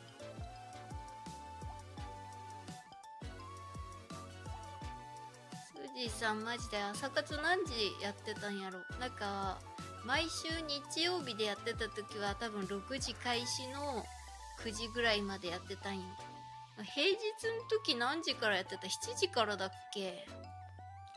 去年の9月にね会社辞めて引っ越し前だから新しい仕事始めないからつって行っ朝活するぞっつってやってた時何時からやってたんだろう。でも大体9時ぐらいまでやってたんだよね。か7時か、まあ、6時か。そんぐらいが無難かなと思ってるけど。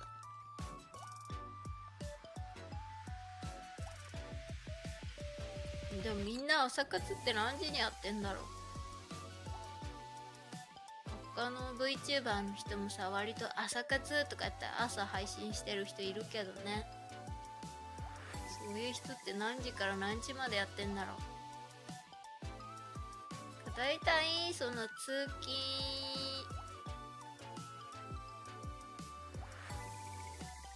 通勤中になるからあんまり遅くまでやってもね10時とか11時にやってももう朝じゃない感あるけどね。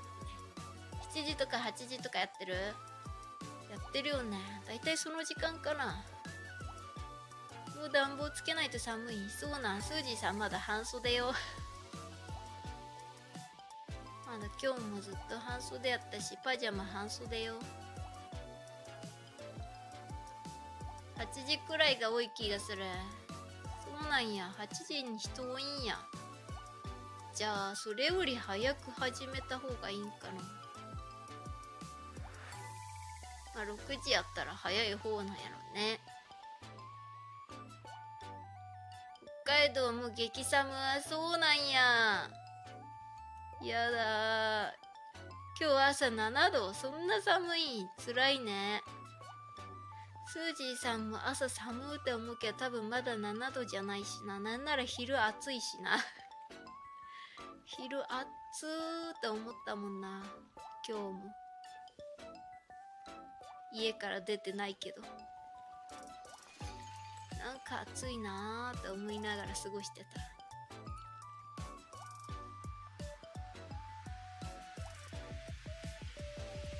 6時。夜勤の人って何時ぐらいに家に帰ってくるんだろう夜勤って大体何時までな朝5時とかその辺？コーヒー抜き死んでまう。寒いのダメなんやねコーヒー抜き。温めてあげて。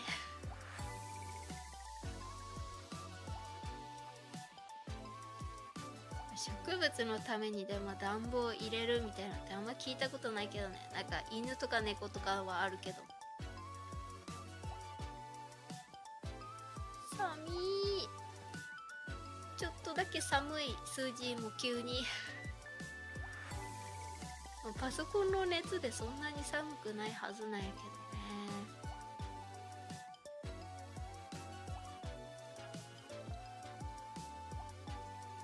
朝朝寒くなるよねこれからどんどん。もう布団から出たくなくなるよね。ハウスの中でぬくぬく。あそうなんですね。じゃあ大丈夫か。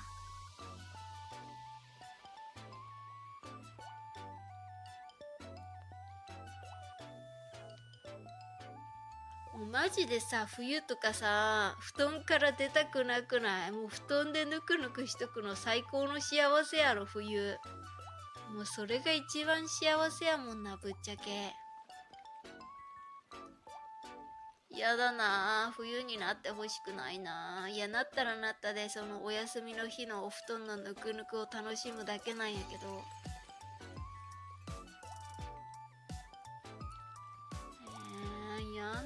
ちゃうね。布団から出たらまずは水浴びですね。えー、そうなん。冬でも？やばいよ。風邪ひいちゃうよ。心臓が止まっちゃうよ。びっくりして。寒ってなって。富士山布団から出てもなんかぼーっとしてるけど。とりあえずだいたい朝起きたらまずトイレに行ってって感じやトイレでぼーっとして。って感じ。こちらは朝早く起きてストーブつけた方があったかい。ストーブね。スージーさんちはないけどね。水だけでお湯浴びない生活2年目えー、そんな生活してんの？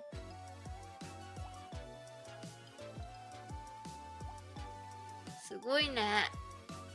スージーさんは絶対無理だ。風邪ひいてまうそんなことしたら。それか心臓止まって死んでるかもしれん。パタン。で冬とかヒーってなった時心臓が止まるやん。水だけは過酷だね。そうだよね。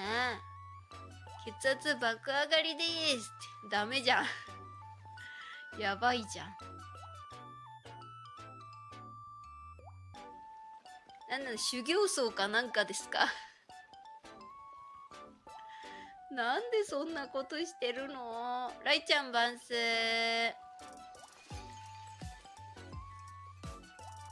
恐ろしいことするね。寒い寒いやろね。みんな寒い寒い言ってるよ。寒いとこの地域の人ばっかりいるから。修行と節約と除霊？除霊？除霊もしてんの？何そんな取りつかれやすい体質ですみたいなそういう感じ？取りつかれ体質。スージーさんもでもなんかお祓いしてもらった方がいいのかな？今年運悪かったし。まさかの道民率高すぎ問題。そうね。また新しくあこの人北海道の人なんだはあったね。スージーさんが知ってるだけで1234人ぐらいいるかな。コメント欄にだいたいよく来る人だと4人。あとは分かんない。運が悪いような気がするので邪気払う意味ね。なるほど。それだったらお塩お塩で体洗うとかの方がよくない？あでもお塩で荒れちゃうかな。大丈夫じゃない？たわしで大丈夫なんだから塩大丈夫じゃない？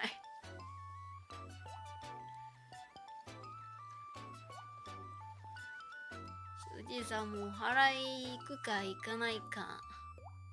神社に行くか行かないか悩んでますね。なんかスージーさんもネットでお守り買っちゃったからさ行かなくていいかと思ったんだけどそう会社の人がさ行きたかったんだよねって言ったからじゃあ行きますかって言ってなんか行く流れになったよ木の宮神社にね。でもなんか急に金曜日になって本当に行くみたいな言われてなんかそう言われたらさなんかこの人行きたくないんかなと思ってさもうじゃあ行かなくていいか数字お守り持ってるしと思ってんだけどとりあえず保留になってるんよ今。もうねもうななんか本当に行くって言われたらもう行かなくてもいいかなってなっちゃうね。1時間もかかるし。京都で寺巡ってお札もろてくるとか。京都ね。京都に行かんでもでもお寺いっぱいあるやん。いろんなとこに。うちなんか金閣銀閣のお札部屋の扉に貼っとる意味あるかは知らん。それは分からんね。数字も分からん。道民あるある他に道民を見かけると仲間意識が芽生える。そうなんだ。お前もかーっつって。行かないとご利益なさそう。お守りネットで買っても本当スージーはもうご利益めっちゃ期待してるけどな。金運のお守り財布に入れてニヤニヤしてるけどな。知らんけどあでもなんかイメージはあるよね。行って行った方がいいみたいな。結局それで行ってそこにいる神様にお参りすることによってご利益を得られるみたいなイメージあるからね。でもお守りでもきっとあるよ。よくわからないけど。信じる者は救われる。そういうもんやろ。知らんけど。信じないとね結局お参りしても一緒よ。信じることが大事よ。多分。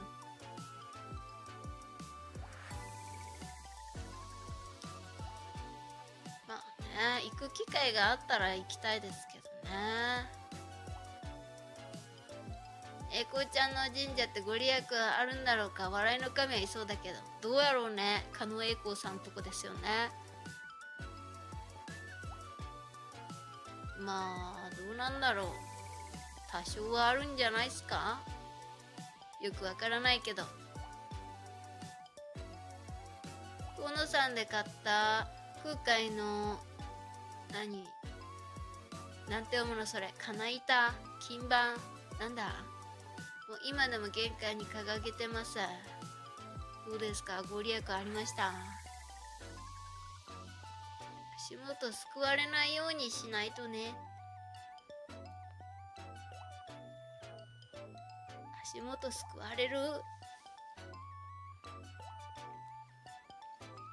まあとりあえずいいんですよ。信じて叶えばそれでよし。特にない。なかったか、まあ、気持ち気持ち的に。良ければそれでいいんじゃない。そもそも神様っておるんやろか。さあね。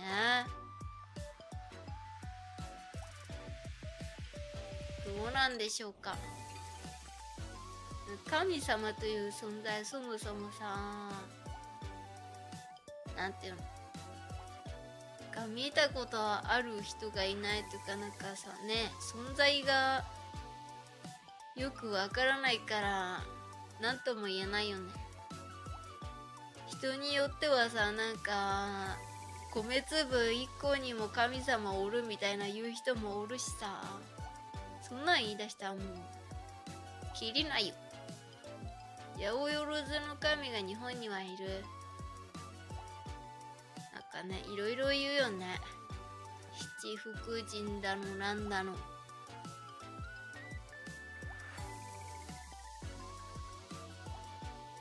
まあでも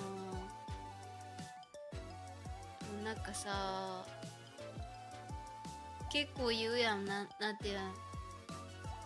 なんかここのここの縁結びの神様にお願いしたら彼氏ができましたみたいなのとか結構さいっぱい言われてるとこはあるよね。出雲大社とか結構聞くよね。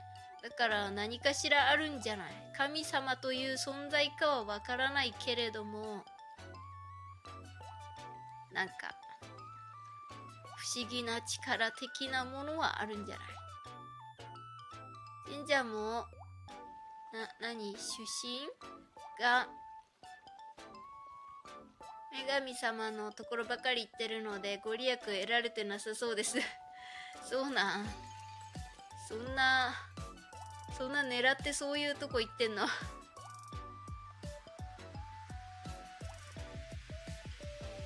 神様心の中にいるものさそういう感じ。神様はみんなの心の中にいます。なんかそういう宗教ありそう。出雲大社とか伊勢神宮とかそらご利益ありそうだ。スージーさん出雲大社のお守りもらったけど別に何もなかったな。なんかお参りしてっていうかお守りって1年でなんか新しいのに変えた方がいいみたいなあるけど結局それで何もなかったからな。だってもらってから彼氏ができるまで結構かかってるから多分お守り関係ないっていう。何？仙木を見ればわかるのでそうなんだ。なんかそういう印みたいのあるんですか？太宰府の菅原道真みたいに実在の人物を神神格化させたやつの方がなんか効きそうな気がする。知らんけど。いろんなとこにあるよね。そういう感じのとこ。静岡は誰だっけ？北条政子だっけ？かなんかあるよね。20年前に買ったお守り未だに持っています。あそうなんですか？だか数字そのお守り買う時になんかそう金運のお守りと縁結びのお守りを買ったんですよ。だからどうやってなんかどうするのが一番ご利益があるんだろうと思って調べたらなんかお守り1年で返さんといけんって書いてあるってなってそうなんだってなった。ちぎって言いますちぎって読むんですかえー、静岡ってそれこそ家康公のお膝元やんねらしいねどこに祀られてるか知らんけどどこにおるんやろ？徳川家康に挨拶に行ったら運悪いの治るかな？挨拶に行ってないからちょっと呪いかけられてるんかもしらん。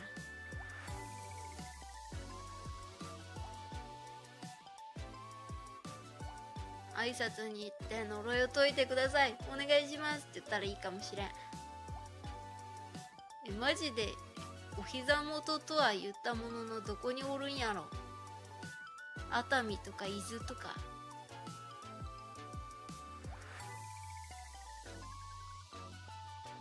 こなの。あでも観光地っぽいよね。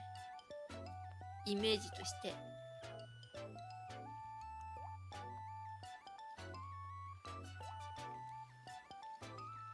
祀られてるのは日光東照宮栃木やけど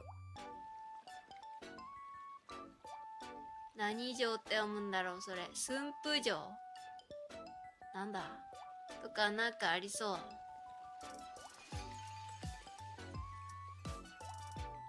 駿府城やった合ってる。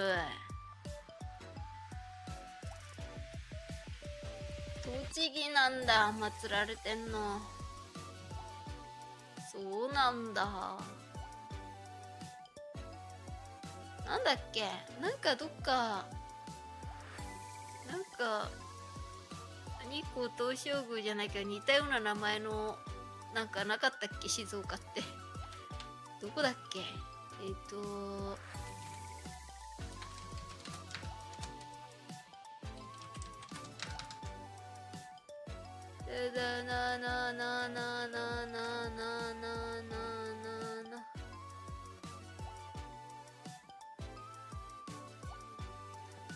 あ全然違うけどなんかイメージだけであれだ。久能山東照宮でした。東照宮だけ一緒やね。これ何の久能山でした？あ家康公を祀るって書いてますよ。ここ。おお。家康公を祀る日本で最初の東照宮で建築史上特筆されるなんたらかんたらな社殿は国宝に指定されています。1159段の石段から風風光明媚な景観は有名。日本平日本平山頂からロープウェイも利用できます。だって。スージーさんここね正月にね元彼さんがねお参りお母さんが行くけど一緒に来るって言われたわ。言っとけばよかった。失敗失敗。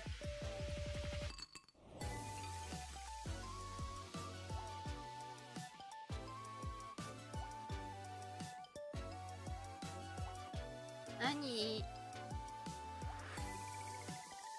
阿部な何さん？何さんだろう？神格化されてます。浅間神社？安倍の生命ああ陰陽師の人なんだ。浅間神社？え？久能山東照宮は違うの？浅間神社。静岡。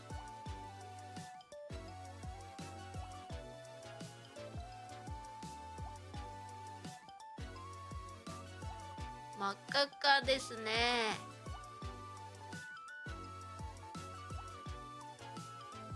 どこなの？よくわからない。久能山東照宮とは何が違うの？でも青い区だからあれか。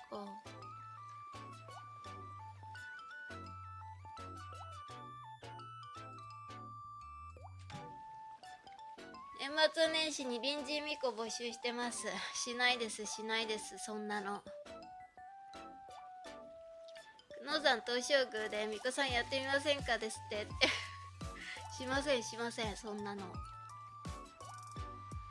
巫女さんなんてしたいと思わないよ。ご利益ありそうだけどねなんか。でさなんか朝っぱらからやない。年末年始あったらそんなん嫌や。年末年始はね正月にしたい。ね正月を過ごしたいんじゃ。リアルコスプレ。コスプレと言っていいのかそれは。違うんじゃないか。あ巫女さんってさ何もいらんのかな職業的な。修行というか。シゼットさんバンス仕事ストレスで死にかけてます。あもうあれよね。新しい転職先？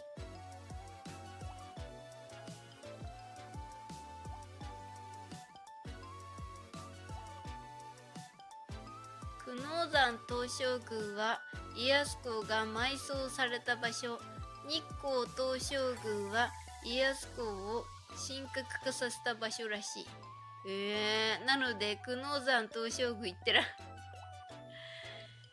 やだ階段めっちゃ登らないけんって書いてあったよ。くそ正月に行っとけばよかった。やっちもうたそしたら何か変わったかもしれないのに。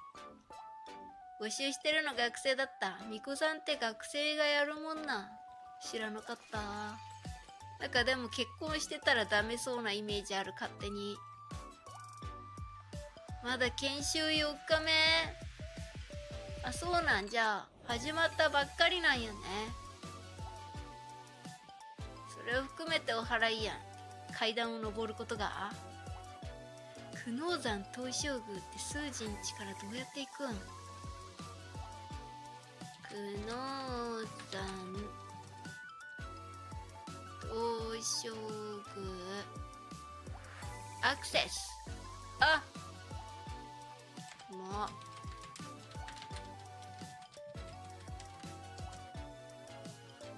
久能山がちゃんと出ないよ。ア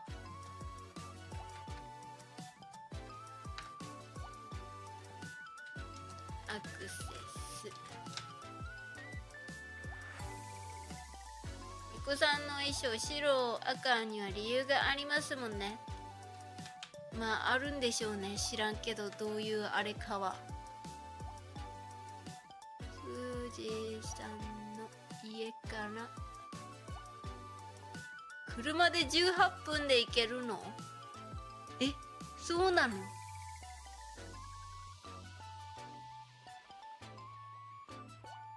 歩いてどんくらい ?2 時間歩けない。バスでバス乗り換えまくり？これ。うバス不便だよな静岡。ほんと嫌になっちゃうなそういうとこ。乗り換えまくりやな。駅まで歩いても乗り換え一回挟むのマジ？ええー、そしたら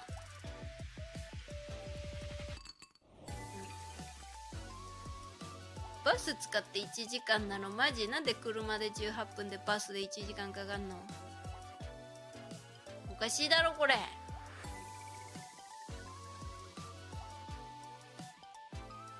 すでにストレスが4日目にして。どういう系のストレス？人間関係覚えることが多すぎてやってらんねえって。リニアの工場ってまだ始まらない。リニア。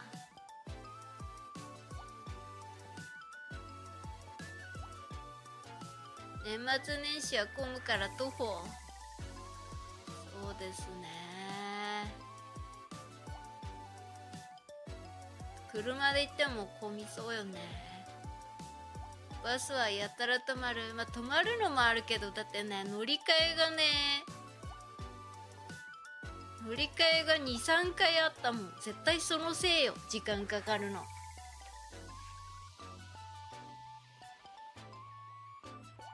だからその乗り換えで待っとく時間とかあるんだよ。やってらんねえよ。福岡だったら多分そういう有名なとこはねバス直行バスとかがあるんだよね駅から。だから福岡のバス慣れちゃうとね他県に行くとめっちゃ不便なんだよね。いろいろ。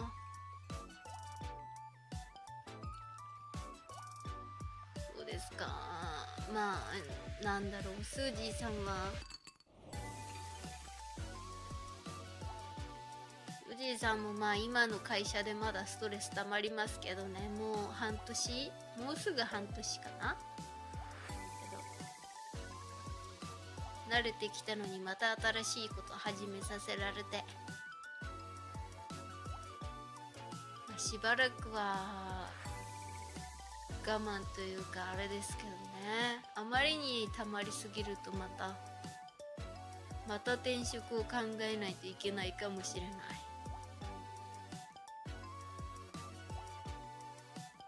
工場じゃなく工事でした。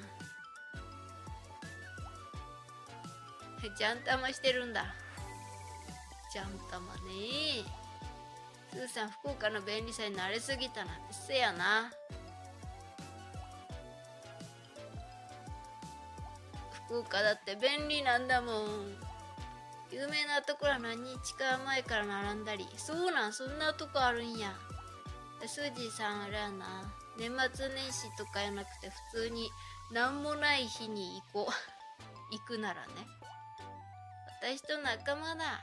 そうですね。お転職ですか。スージーさんはまだ転職しないですけどね。まだっていうかもうあれだから。宝くじ当てて会社辞めるから。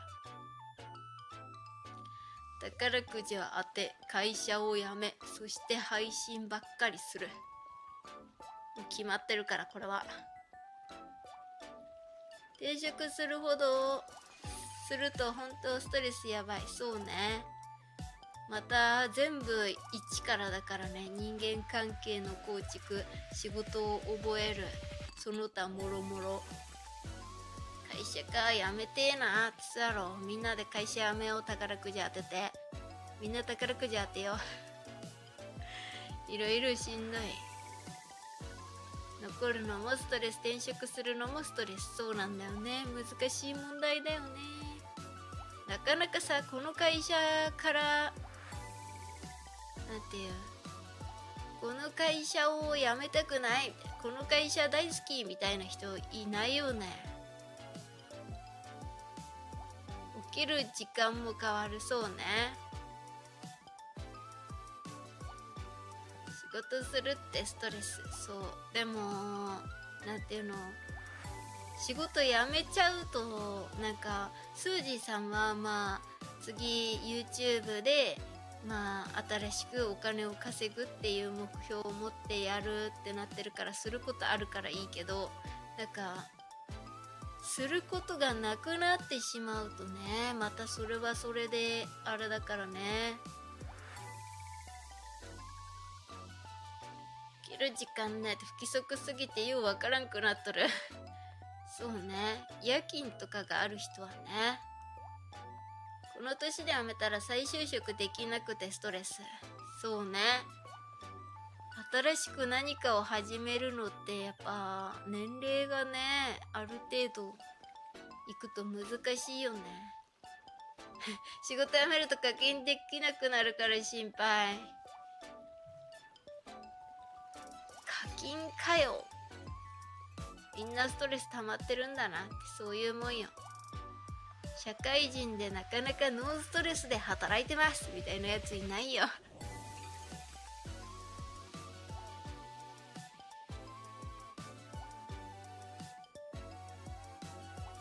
な人いたら羨ましいもん。どういう会社か見せてほしいもん。どういう会社で何をしているんですか？っつって。上司に課金やめろって言われてるが今さらやめられるかっちゅうね。上司にそんなこと言われることある？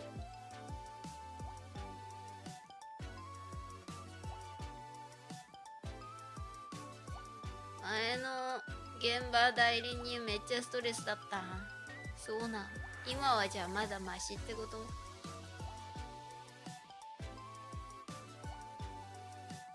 オッケーの道具かやそんなこと言われたってね。嫌よね。付き合いでやってるだけなんで。つって。そんな本格的にやるつもりないんで勘弁してもらってもいいですか？パワハラで訴えますよつって。転職したのでなるほど。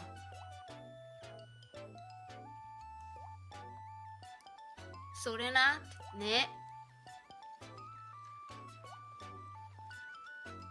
お茶すすって机に座ってネットサーフィンして5時前に帰るようにできる仕事がいいな。そんな仕事ある？サービス業しかしたことないけど本当スージーさんはサービス業とかだからコールセンターとかまあそれもサービス業みたいなもんかな。工場まあでもほぼサービス業だねスージーも。サービス系が多いかな。今日も3時に寝ないといけないわ。3時スージーさんはもうそろそろ寝ないといけないわ。スポーツとかもともと性に合わないっちゅうね。スポーツね。スージーさんももう今からスポーツ始めれないな。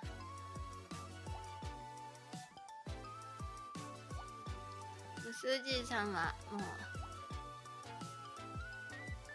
なんていうかまあ筋トレはするけどそこそこにって感じ。もういいよ。スポーツしなくてもラジオ体操しときゃいいから。みんなラジオ体操しようラジオ体操。意外と意外と疲れるらしいね。運動してない人からしたら。ちゃんと考えて作られてるんだなラジオ体操。40過ぎてスポーツ始めるとかしんどすぎるわ。まあ、特にやりたくて始めてない人はねお母さんうちのお母さんはね40過ぎてからマラソン始めたよ。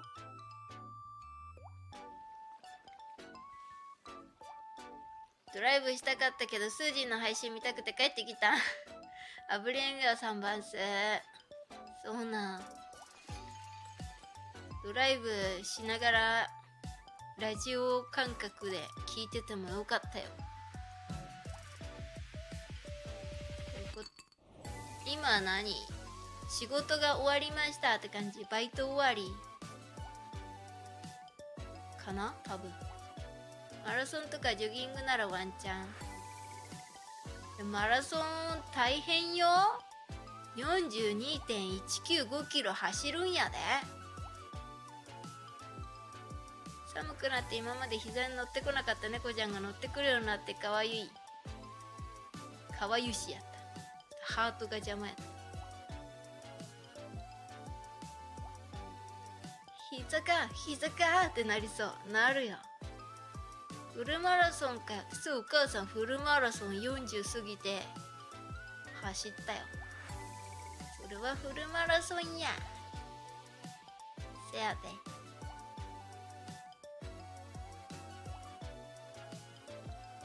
私もスージーさんの猫になる。スージーさん猫。猫ね。猫さん。猫さんは毛が服につくからな。そういう理由かい。競歩競歩さなんかあれ足の関節外れそうじゃない？なんかすごいさ無理やり早歩きするみたいな感じがスージーさんあれ見てて心配になるもん。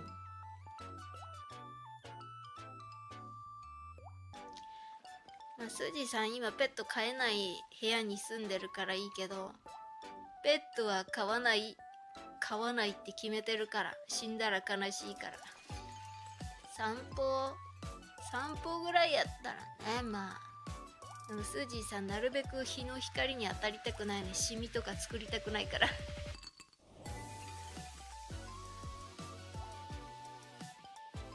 なるべく家から出たくないっていう。悲しい。ペットはもういいです。もう一回ペットの死を、ね、経験したらもういいです。人間のペットいりませんか？でスージーさんがねその人一人養っても余裕で生きていけるぜみたいな何て言うんですか？財力があったら人間のペットでもいいかなと思います。ぶっちゃけ。人間のペットっていうかなんか同居人探しても全然いいかなと思いますけども。今財力がないんですいませんね。ペットレスになっちゃう。そうよ。悲しかったからね。とっても悲しかった。ワンコが死んだ時。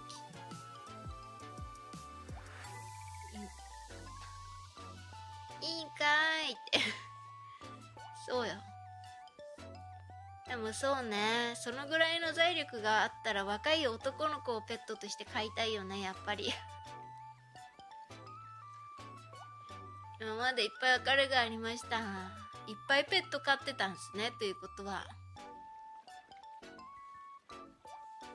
スージーさんもう一回でもうもう次は次は嫌だって思いましたね。小さいおっさん。小さいおっさん何？小さいおっさん飼うの？嫌なんだけどおっさんは。スポーツは全力でしたら鬼楽しい。スポーツに年関係ないよ。体動かすことが一番楽しい。そう若いやつのセリフや。若いからそんなこと言えるんや。まあそりゃね全力でした方が楽しめるとは思うけど。多分あれを40とか過ぎたらさね大変よ。体力もないし。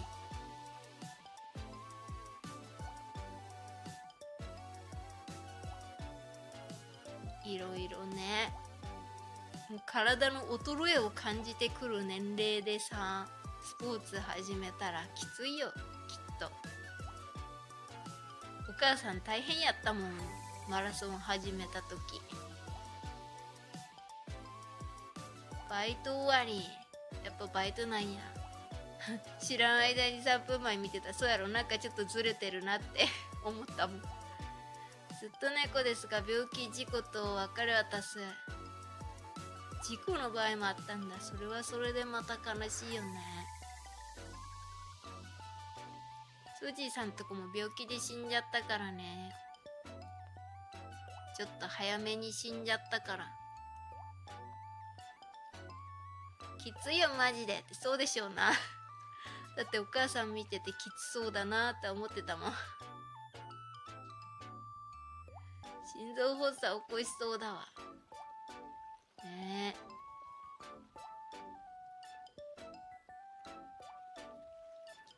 かそれペットじゃなくて彼氏じゃない？そうなの。え違う彼氏じゃないよ。普通に家で飼うんだよ。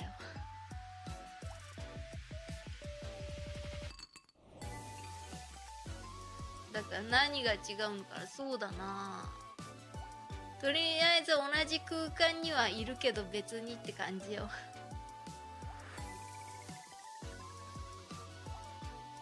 この頃はトバスこの頃か。ストバスしてるんやけど誰とでも遊べる力を得ました。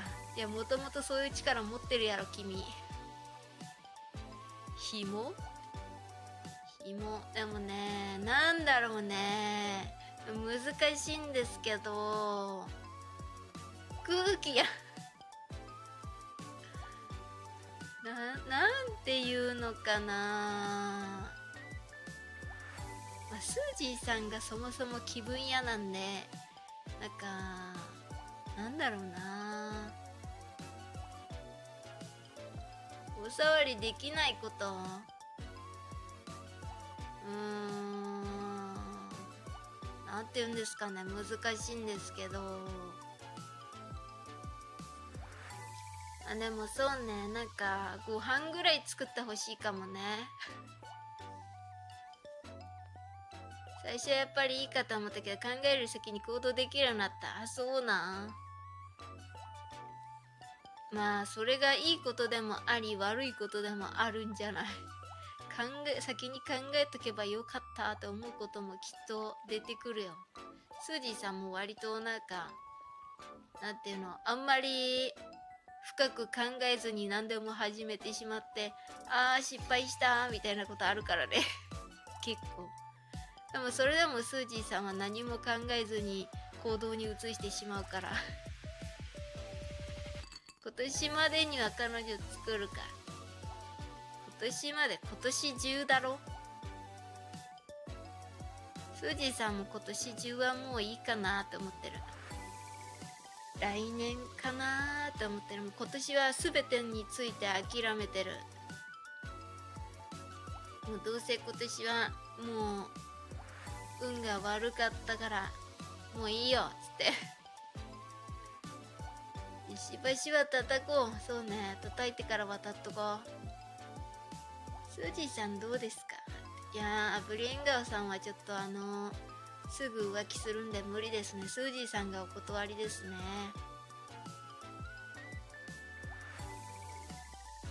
後悔を考える時間あればそれの行動できたプラスを考える。なるほどね。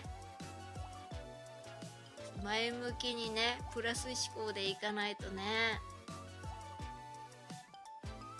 鉄は熱いうちに打てって言うからね思ったら即行動。そっちそれも大事なんですけどね。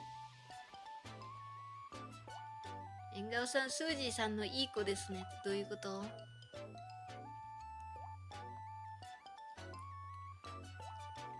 スージーさんのペットとしてちょうどいいってこと？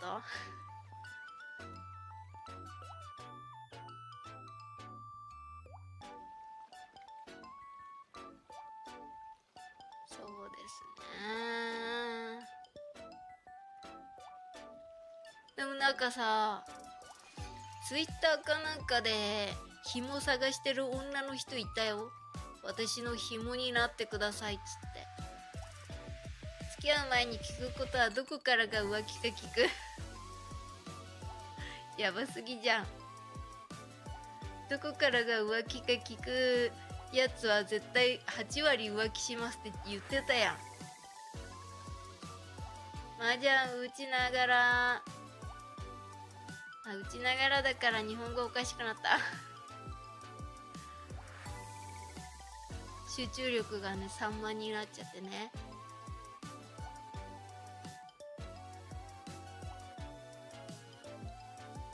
もう絶対浮気するやんブリエンガボさああいう人はもう付き合う対象じゃなくってもうあれよペットとして飼うぐらいがちょうどいい。浮気する気満々。そうや。浮気のレジェンドですか。あの浮気のレジェンドって何ですか？有名な方がいらっしゃるんですか？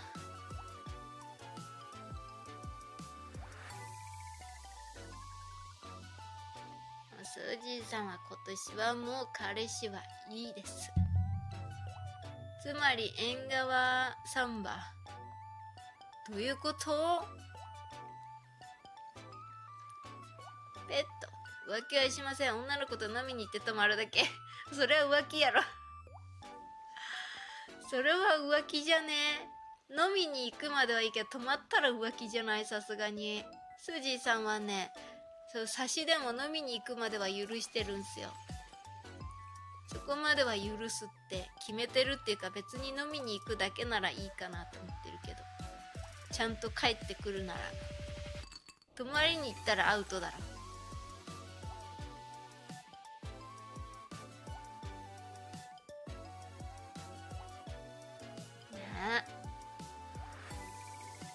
泊まるだけって言い方よ。LINE はするけど返信で無理って来ても泊まる最悪やおせっせしてないからセーフ。してなくてもダメだろ。泊まったら。泊まったらアウトだろ。う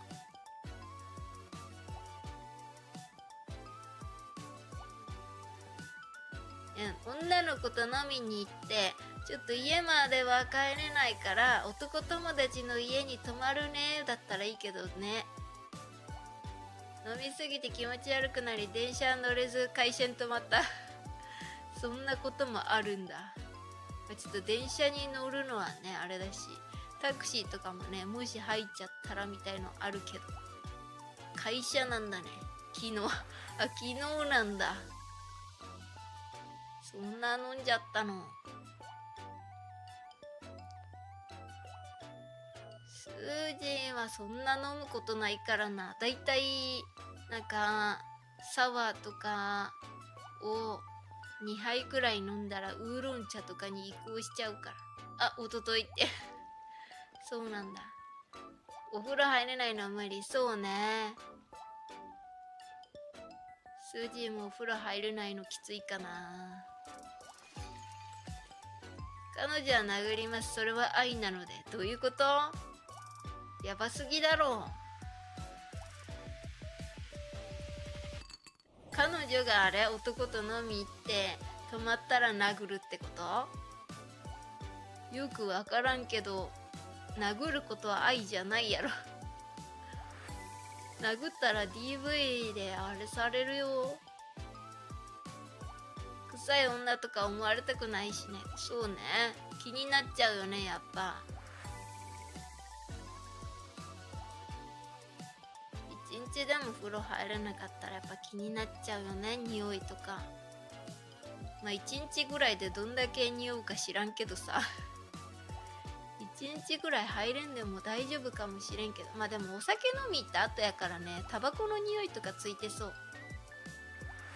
イラってきたら殴る。その後好きやからやでって言いながら抱きしめる。それ DV 男の典型じゃね？やべえやつやん。スージーの妹の元彼やん。スージーの妹元彼 DV 男やったからな。怖い。ねめっちゃ怖いね。なんかさ言うやん。DV するやつってさなんか暴力振るった後優しくなるから離れられんみたいな。って聞くよよく。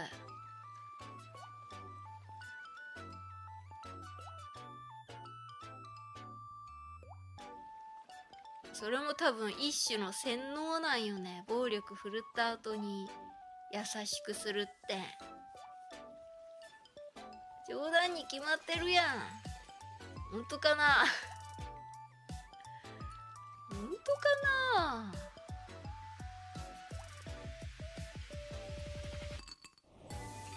いやもうそうメンヘラの人とかそういう人にやっぱりあれらしいね。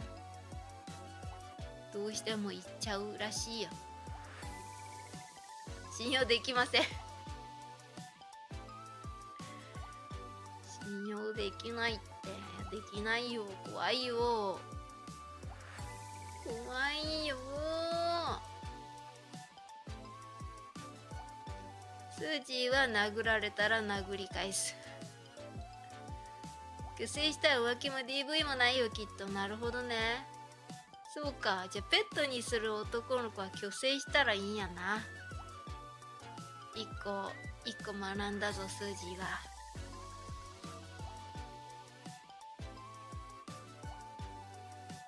あそうね。浮気はできないね。とりあえず。DV は分からんけど。どうなんやろうね。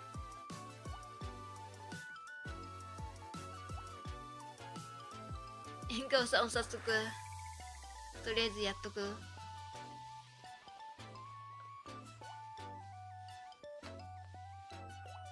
じゃあ行こうか。つって病院連れてってね。笑うわ。殴り返されて「ごごごごめんなさい」ってなりそう。マジ切れされて。スージーがブチギレてるの怖すぎて。自分だったら。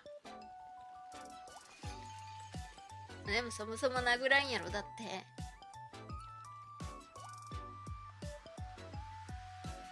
前立腺がなくなると意欲もなくなる。あそうなんだ。あの男の人は下半身に脳みそがついてると言いますからね。そう言われるぐらいですからやっぱそうなんでしょうね。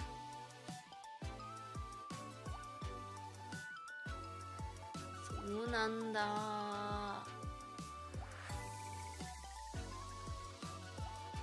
浮気は2割でするけど DV はせんそうな。ん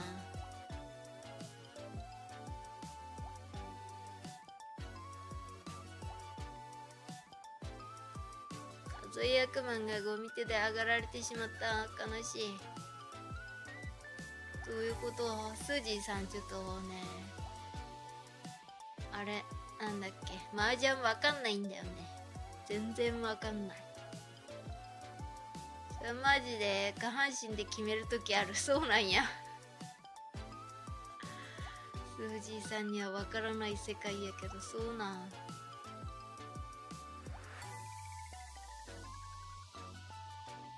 まあしょうがないよね。そういう風になっていうの作られてしまったからね。レーダーがついてるんですね。そうでしょうねきっと。では虚勢しましょう。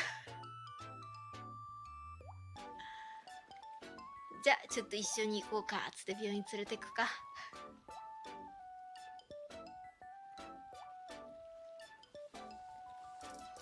まあ仕方ない部分はあります。子孫を残すというなんかなんていうんですか？動物的な本能というかそういうものはあるんでね。男って女を無意識的に目で追ってしまうらしいで。そうな無意識的な。であれでしょ彼女に見られて今見てたでしょって言われて喧嘩になるっていうな。でもその彼女がメンヘラやったらそこで泣き出すっていうそういう感じですよね。スージーさんでもなんか他の女の人見てても別になんとも思わんけどね。自分がその人の彼女やったらさだって自分が一番なのはもう確定事項やん。そんな他の女にさ嫉妬する必要なくない？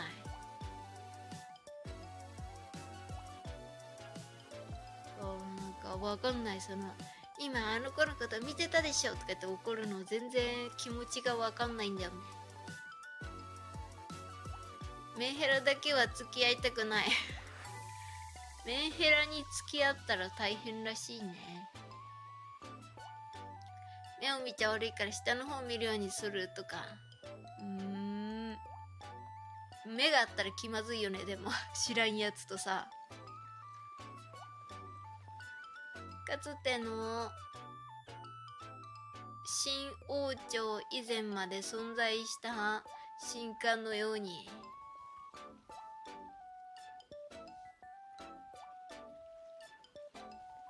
何ですか？本能のままになんかしてたんすか？やりたい放題やっちゃった？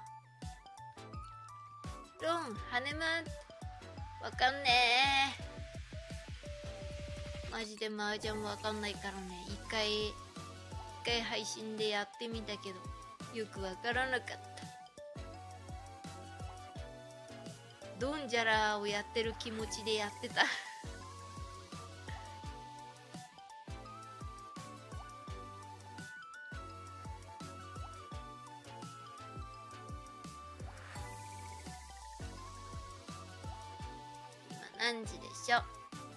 時半か。でそろそろ配信終わるか。可愛い子バイト場所来へんかなって。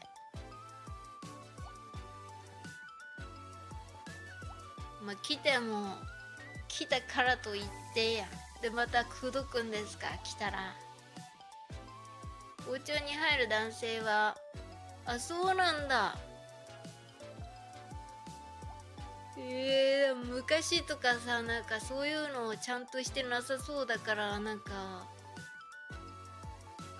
だって手術がちゃんとしてなくてなんか麻酔が効かなくて痛そう。やっ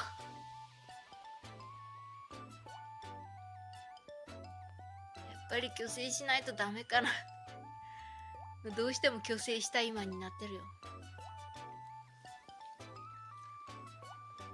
宦官あ宦官って読むんですか？ええ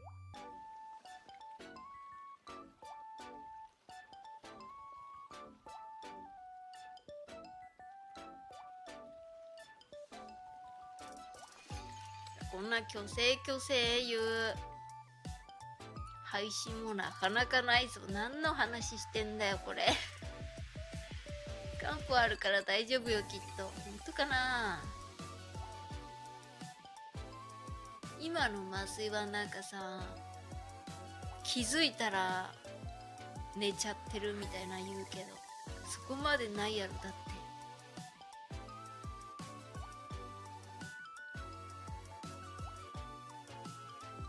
浮気したらどうなるか話。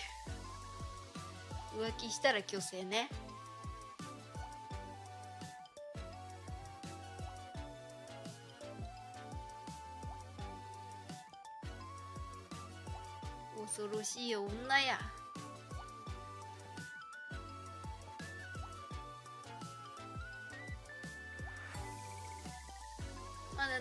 好き好き言ってたら勘違いする女の子おるんかなどうやろ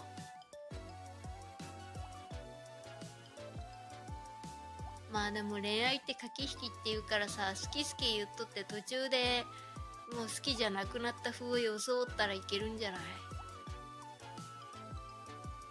でもどうやろう？スージーさんの場合やけどスージーさんの場合はなんかその好きじゃない人っていうか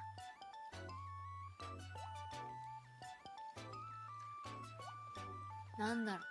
恋愛対象に入ってない人から好き好き言われたらもう嫌悪感が出てきちゃってその人と友達やめるぐらいになるけどその相手自体相手にまあを恋愛対象として見てたら別にありかもしれない。昔本当に会ったと聞きます？虚勢？多分セクハラが先になる。好き好き言ってたら。今度の人はそうですかね。恋愛対象じゃなかったら拒否反応出る？スージーさんガチでそれで一人友達じゃなくなったからな友達から。東京店員さんバンスこんばんは。でその経験があった後に元彼さんと付き合うことになってでスージーさんはそのなんかなんていうのその好き好き言われてた時にそのなんかすごいもう嫌悪感あって無理ってなって友達辞めちゃったからなんか自分が蛙化現象を起残してるんじゃないかと思って不安になってたけどその後元彼さんと付き合うことになってあ違ったんだ別に好きじゃないから言われるの嫌だったんだって納得した。から安心したよねめちゃくちゃ。あ違ったよかったと思って蛙化現象を起こすの嫌だったんだよね。縁側くんストライクゾーンめっちゃ広い。あそうなそれはいいんじゃない？別に。ストライクゾーン狭すぎたら彼女できんそうやもんね。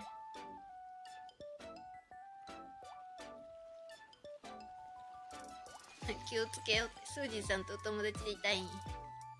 別に女の人から好き好き言われても何とも思いませんけどね。ありがとうって思うだけやけど。それが怖いから異性友達にならない方がいいんですよね。友達から始めると告白できなくなる。なるほど。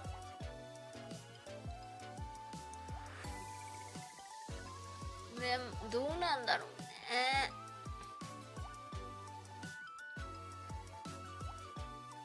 難しいですね本当に。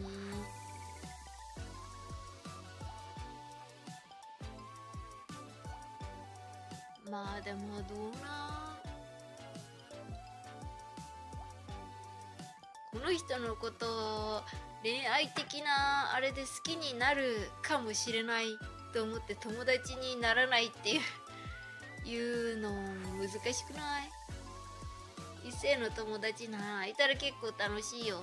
まあ、楽しいっちゃ楽しいよね。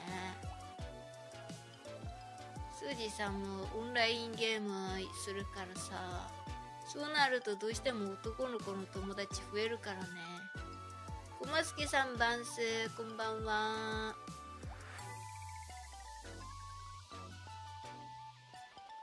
オンラインゲームしてて女の子の友達なかなかできんからな悲しいもう最初に言っちゃう付き合おうって。そうなんそういうパーティー。えー、そうなんだ。異性の友達割と多いけど男女の友情はないと思う。あそうなん。ないんだ。友達多いのに。なんで？気も座ってる。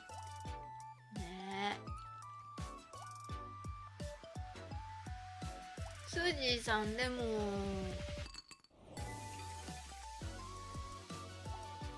どうなんだろう。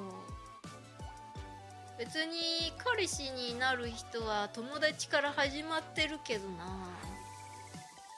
まあでもそうね。友達だから恋愛対象に入らない人も出てくるしなんだろうねその差は。乙女芸なら同性の友達できるかも。なるほどね。乙女芸をやったらいいのか。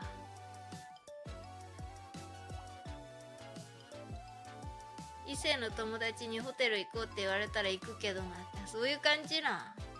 っていうことはそうか友情じゃないってこと？えー。あでもそれは男の人だからっていうかあれじゃない。でもどうなんだろう。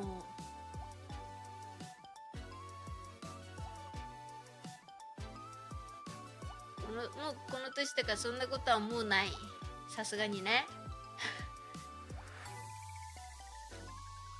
友達か。うって。なんか大丈夫苦しんでる人いるけど大丈夫。縁側さんシリガルだからなって。なるほどね。確かにね。友達フィルターに入れられるの怖い。女性視点むずいね。そうですね。難しいですね。友達から好きになるかそのまんま友達か。しかもあれらしいからね。女の男から見たらもうそれ俺のこと好きやろうと思ってもなんか女の人からしたら友達としか思ってないみたいのあるからね。難しいよね。もうあれやろ。一言でも話したら友達やろ。数字の中では一言話したぐらいじゃ友達じゃないけど先生モテるにはどうすればいいですか？アブリエンガワさん先生してあげたら。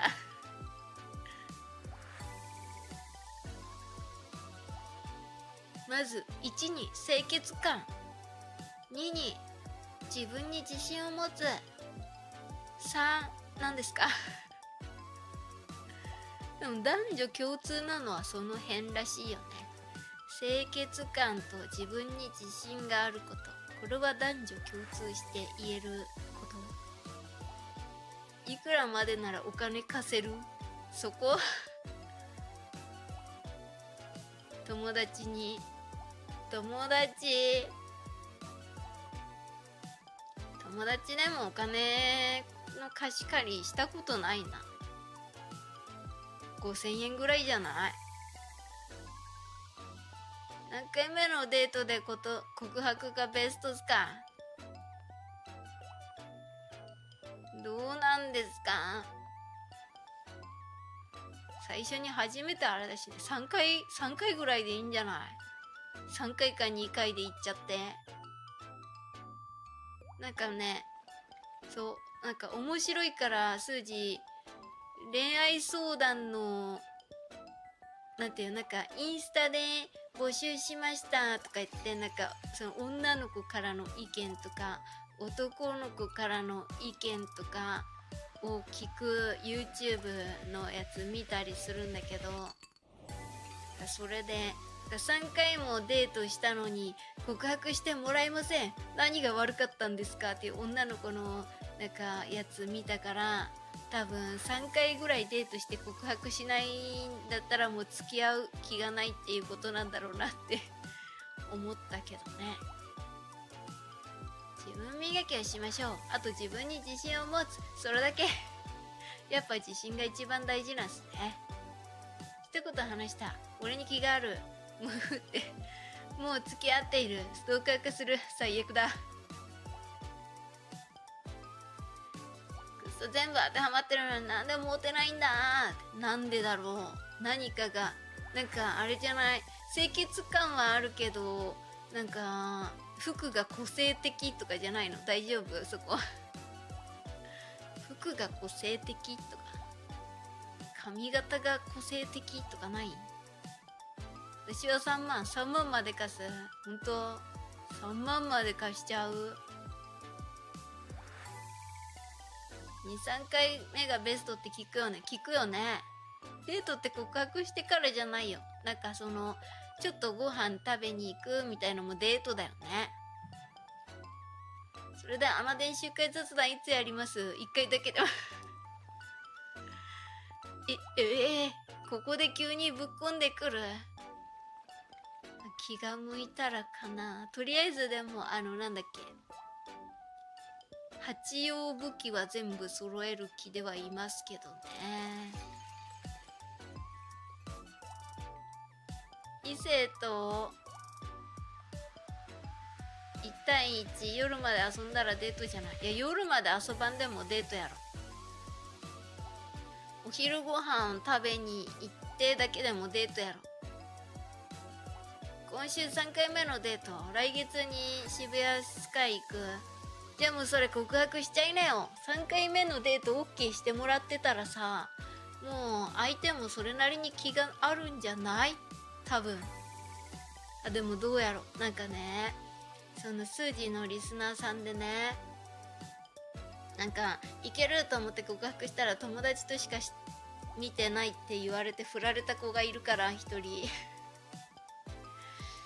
うんだからその他のあれにもよるけどもう3回目のデートで告白しなかったら相手の人はもうこの人自分に気があるわけではないんだなって思っちゃうと思うよ。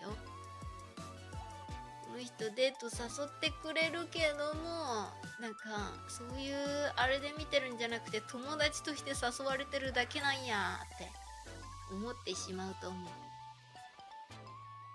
実際限界まで自分磨きしていっぱいおる女性に話しかけてたら一人はいけるでしょ。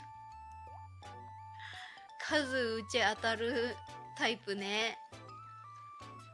皆さん駆け引きしてますな。若いですな。そうですな。そんな相手すらいない。なるほどね。まあでもそうね。モテるモテるのあれにもよるけどなんかとりあえず自分から行かないと何も始まらないよね。女の人ってなんかまあ男の人もなのかもしれないけど向こうから来てほしいからね。だから話しかけるっていうかデートに誘われないとずっと待ってるよきっと。召喚も武器防具手に入りますので。なるほど。うん迷いますね。デート数回目に告白しないとその後告白する機会を失ってしまいそう。絶対そうだと思う。なんか10回とかデートしちゃったらもう逆に告白いつしていいか分かんないと思う。話し上手より聞き上手の方がいいよね。そうね。モテるって言いますよね聞き上手の方が。聞き上手は話し上手とも言いますからね。いかに相手から話を引き出すかっていうのが難しいよね。数字苦手そういうの。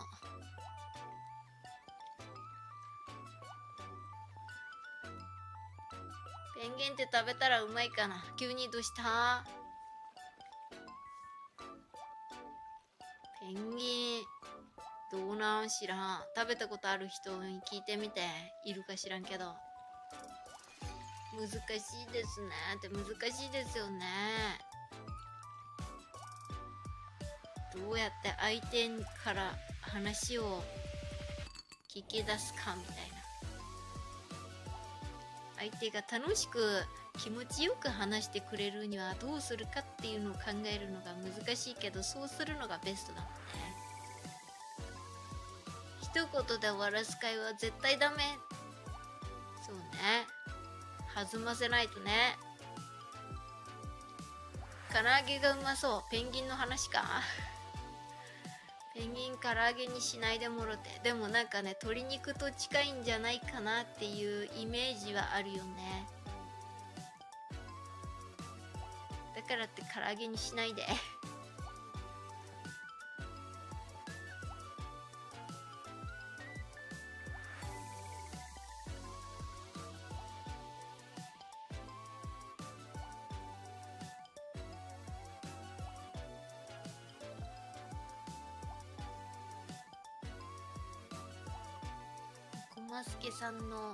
デートがうまくいき無事付き合えることを祈るばかりです。応援しております。ここの配信は スージーの配信はな、なんだ片思いの民を応援します。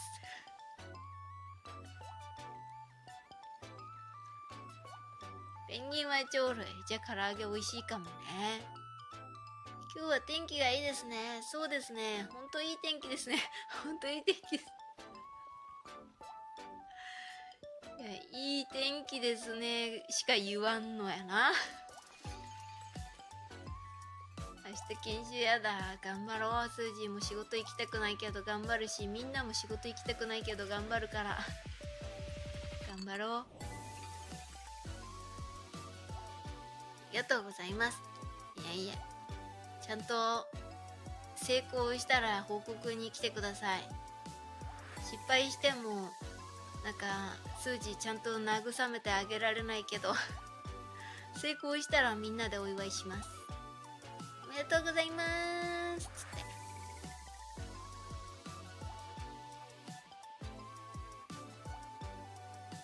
スージーさんそう言うなら頑張れそう。頑張ろう。数字も仕事全然新しく始めなんていうの新しく教えられてることがなかなかうまくいかなくてね。結構教育係の人に怒られてしょぼーんってなってるから最近。だから頑張ろう。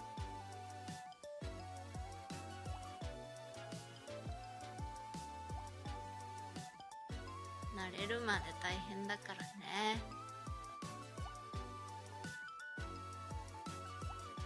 そんなこと言いながらスージーはハロウィンジャンボ当てて仕事辞めるんですけどね。片思いね。幸せやでな。そうね。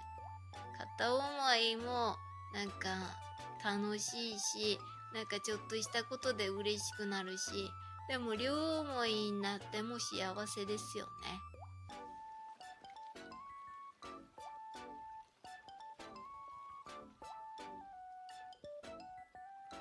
き合えたら付き合えたでもっと幸せになれるやん。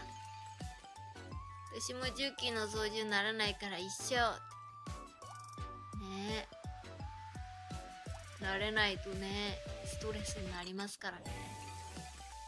縁側くんも明日ここ来るか。いや今いい感じのやつおらんやん。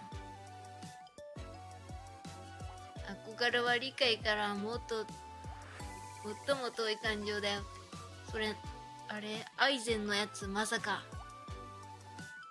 おばんす伴奏って。原神さん伴奏。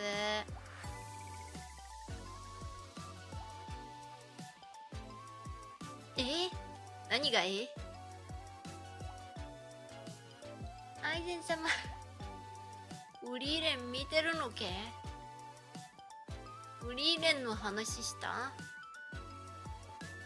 フリーレンはあでもね途中途中まで見たよ。あの違う方。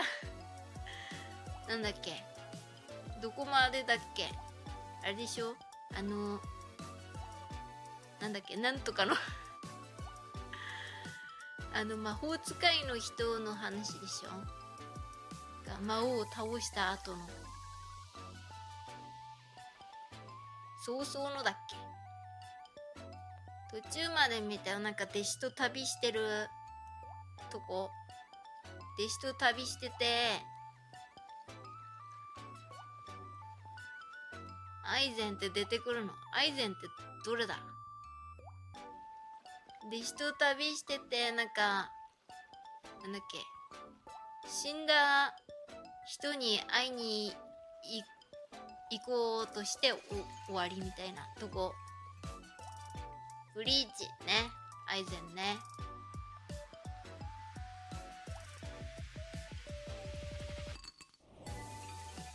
アイゼンめっちゃ悪いやつやったな。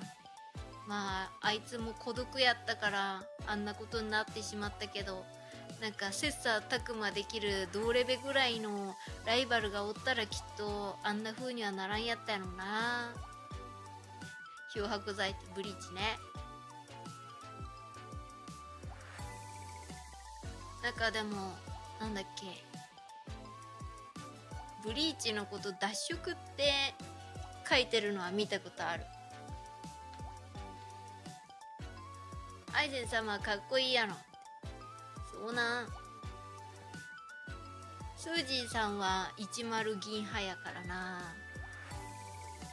名言製造業だねアイゼン。そうな。んそんなに名言出てた？あゆり様が一番好きやけど。なかなかに独特な好みやね。まゆりはスージーはちょっと。どうも好きになれんやったけどな。まゆり結構嫌われキャラじゃない？なんか。嫌われてそうやけどな。人気人気投票最下位とまでは言わんけど下の方にいそうなイメージある勝手に。人気投票。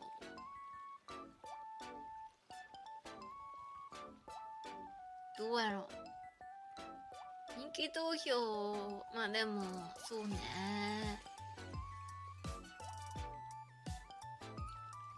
まあ、前売りが上なのは時はなかったよね。あまり強い言葉を言うなよ。弱く見えるぞ。あ言ってたね。そんなのも。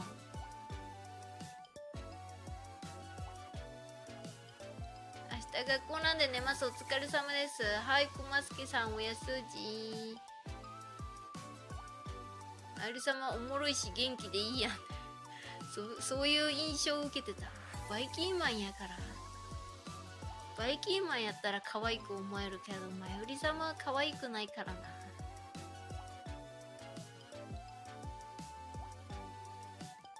バイキンマン割と不憫なとこあるしな。ギクーって。それバイキンマンの真似。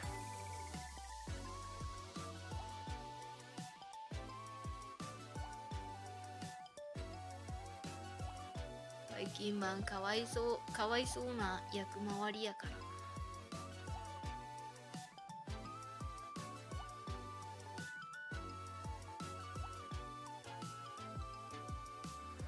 完璧のくだり好きだけど完璧のくだり？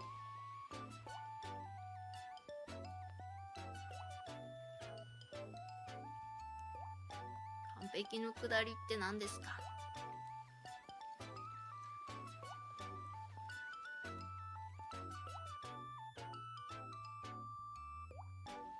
弱く見えるぞのことをギクがそんな強い言葉使っちゃった？まあでも確かにさなんか強い言葉っていうか攻撃的な人とかってさまああれをね犬みたいなもんよね。弱い犬ほどよく吠えるというかなんというか。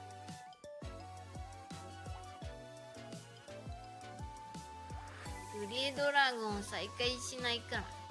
グリードラゴン。我々科学者にとって完璧とは絶望だよ。そんなこと言ってた。あんまりそういうセリフとか覚えてないんだよな。自分大きく見せてるだけ。そうやね。強くよく吠えるのはね。使ってないつもりで使っているかもしれないという意味で。なるほど。どうなんやろね。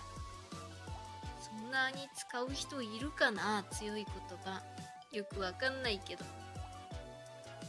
普段の生活でそんなに強い言葉を使う機会ってない気もするけどね。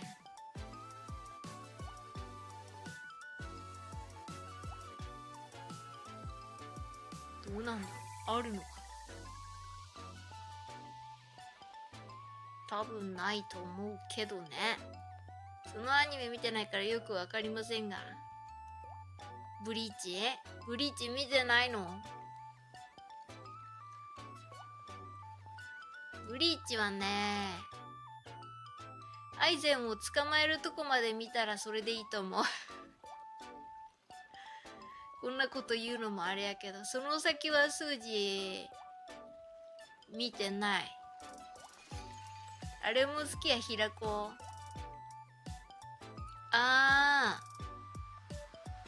ー。平子の自己紹介数字印象的でしたね。あのスケベーのベーに小野の妹子の子っつって。すごい自己紹介の仕方だと思った。アイゼン登山道具かな。アイゼン宗介っていうあのー、あれなんですよ。なんか味方を裏切るっていうかなんていうか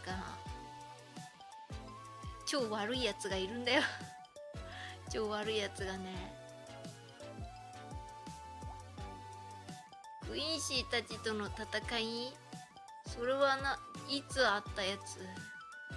数字はマジでアイゼン捕まえて終わりでよかったのになって思ってるブリーチは。そのだからその後見てない全然。ザエルアポロがマヨリ様の次に好き。ザエルアポロってどんなやつだっけ？名前は覚えてるけど見た目が思い出せん。お前かお前がエイゼン様を。それはあれだよね。ひなもりでしょ多分。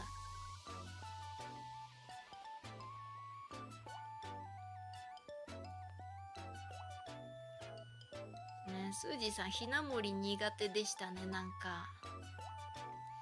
多分女の子にあんまり人気ないタイプの女。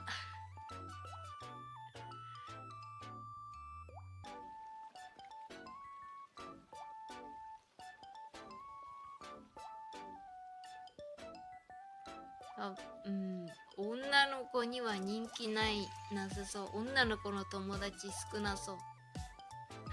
めっちゃ適当言うてる。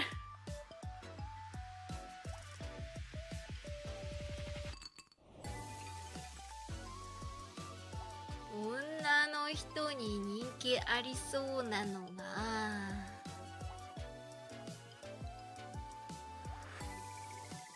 どうだろうな。女キャラだとやっぱランギクさんとかじゃない？あのやっぱりなんていうか姉さんな感じが。ランギクとは仲良しだけどね。ランギクなんか誰とでも仲良くできるイメージあるよね。最近のアニメはジョジョしか見てない。最近でもないか。そうね。ジョジョはそんなに最近ではないかもね。ザイルアポロはエスパーダエスパーダブリーチもなんか難しいからなあれが。どういう何色の髪の毛とかさなんかどういう髪型とか言ってくれないとエスパーだって言われてもわかんない。グリム・ジョーはわかるよ。グリム・ジョーが確か青い髪の毛のなんかやつ。モンストがコラボしてるジョジョそうなんや。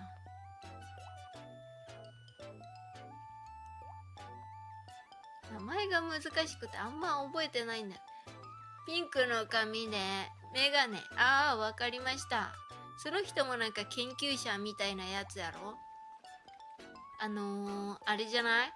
なんかさ敵の敵の人形みたいのを作ってさそれをパカって開いてなんか臓器が出てきてみたいなやつ。あんなん勝てるわけないやんって数字思ったもん。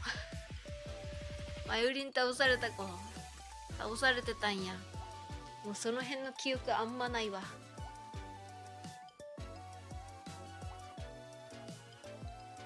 うんその辺が一番面白くないブリーチ？あのー、アランカル編みたいな。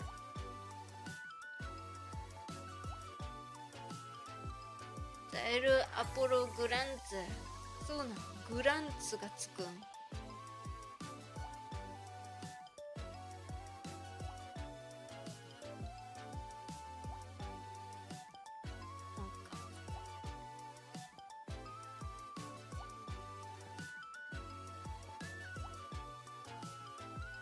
でも10銀が死んでしまったからちょっとそこだけ納得してない数字はずっと。なんで他のやつみんな生きてるのに銀だけ。ええー、みたいな。おかしないですか？それって思ってるずっと。実は銀はなんか悪くなかったんだよっていうのでも帰らせろやと思ってるけど。しょうがないよね。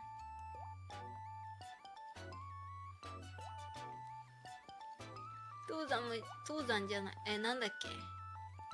死んでる。目が見えない人だっけ？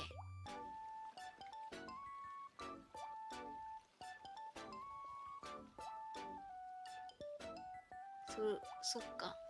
その二人が死んじゃったのにアイゼン生きてんだ。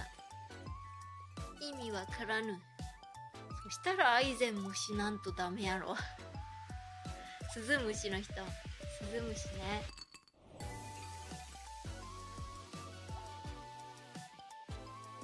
あの挽回でした。なんかその中におったらみたいなやつ。なんだっけ。耳が聞こえなくなるかなんかよく忘れたけど。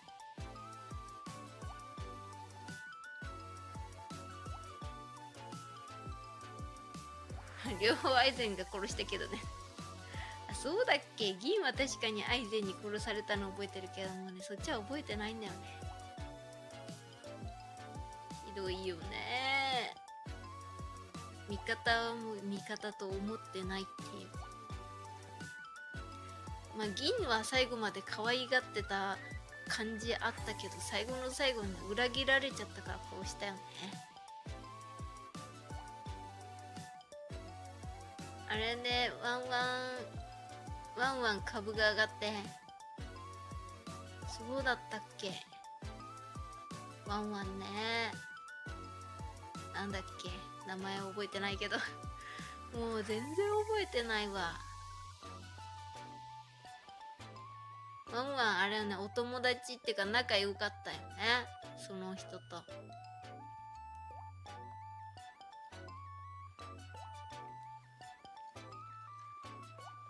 それでもキコを許そう。ってそんなこと言ってたっけ？全然覚えてね。目が見えないからあれなんだよね。ワンワンって知らないんだよね。知らない知ら知らないんだよね。だから仲良くなれたみたいなとこあったけど。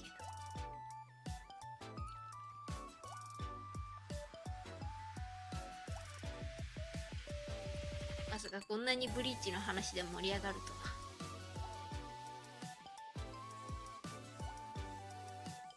かしそろそろ配信終了のお時間です。11時回りましたので。数字は明日6時に起きないといけないので配信を終了したいと思います。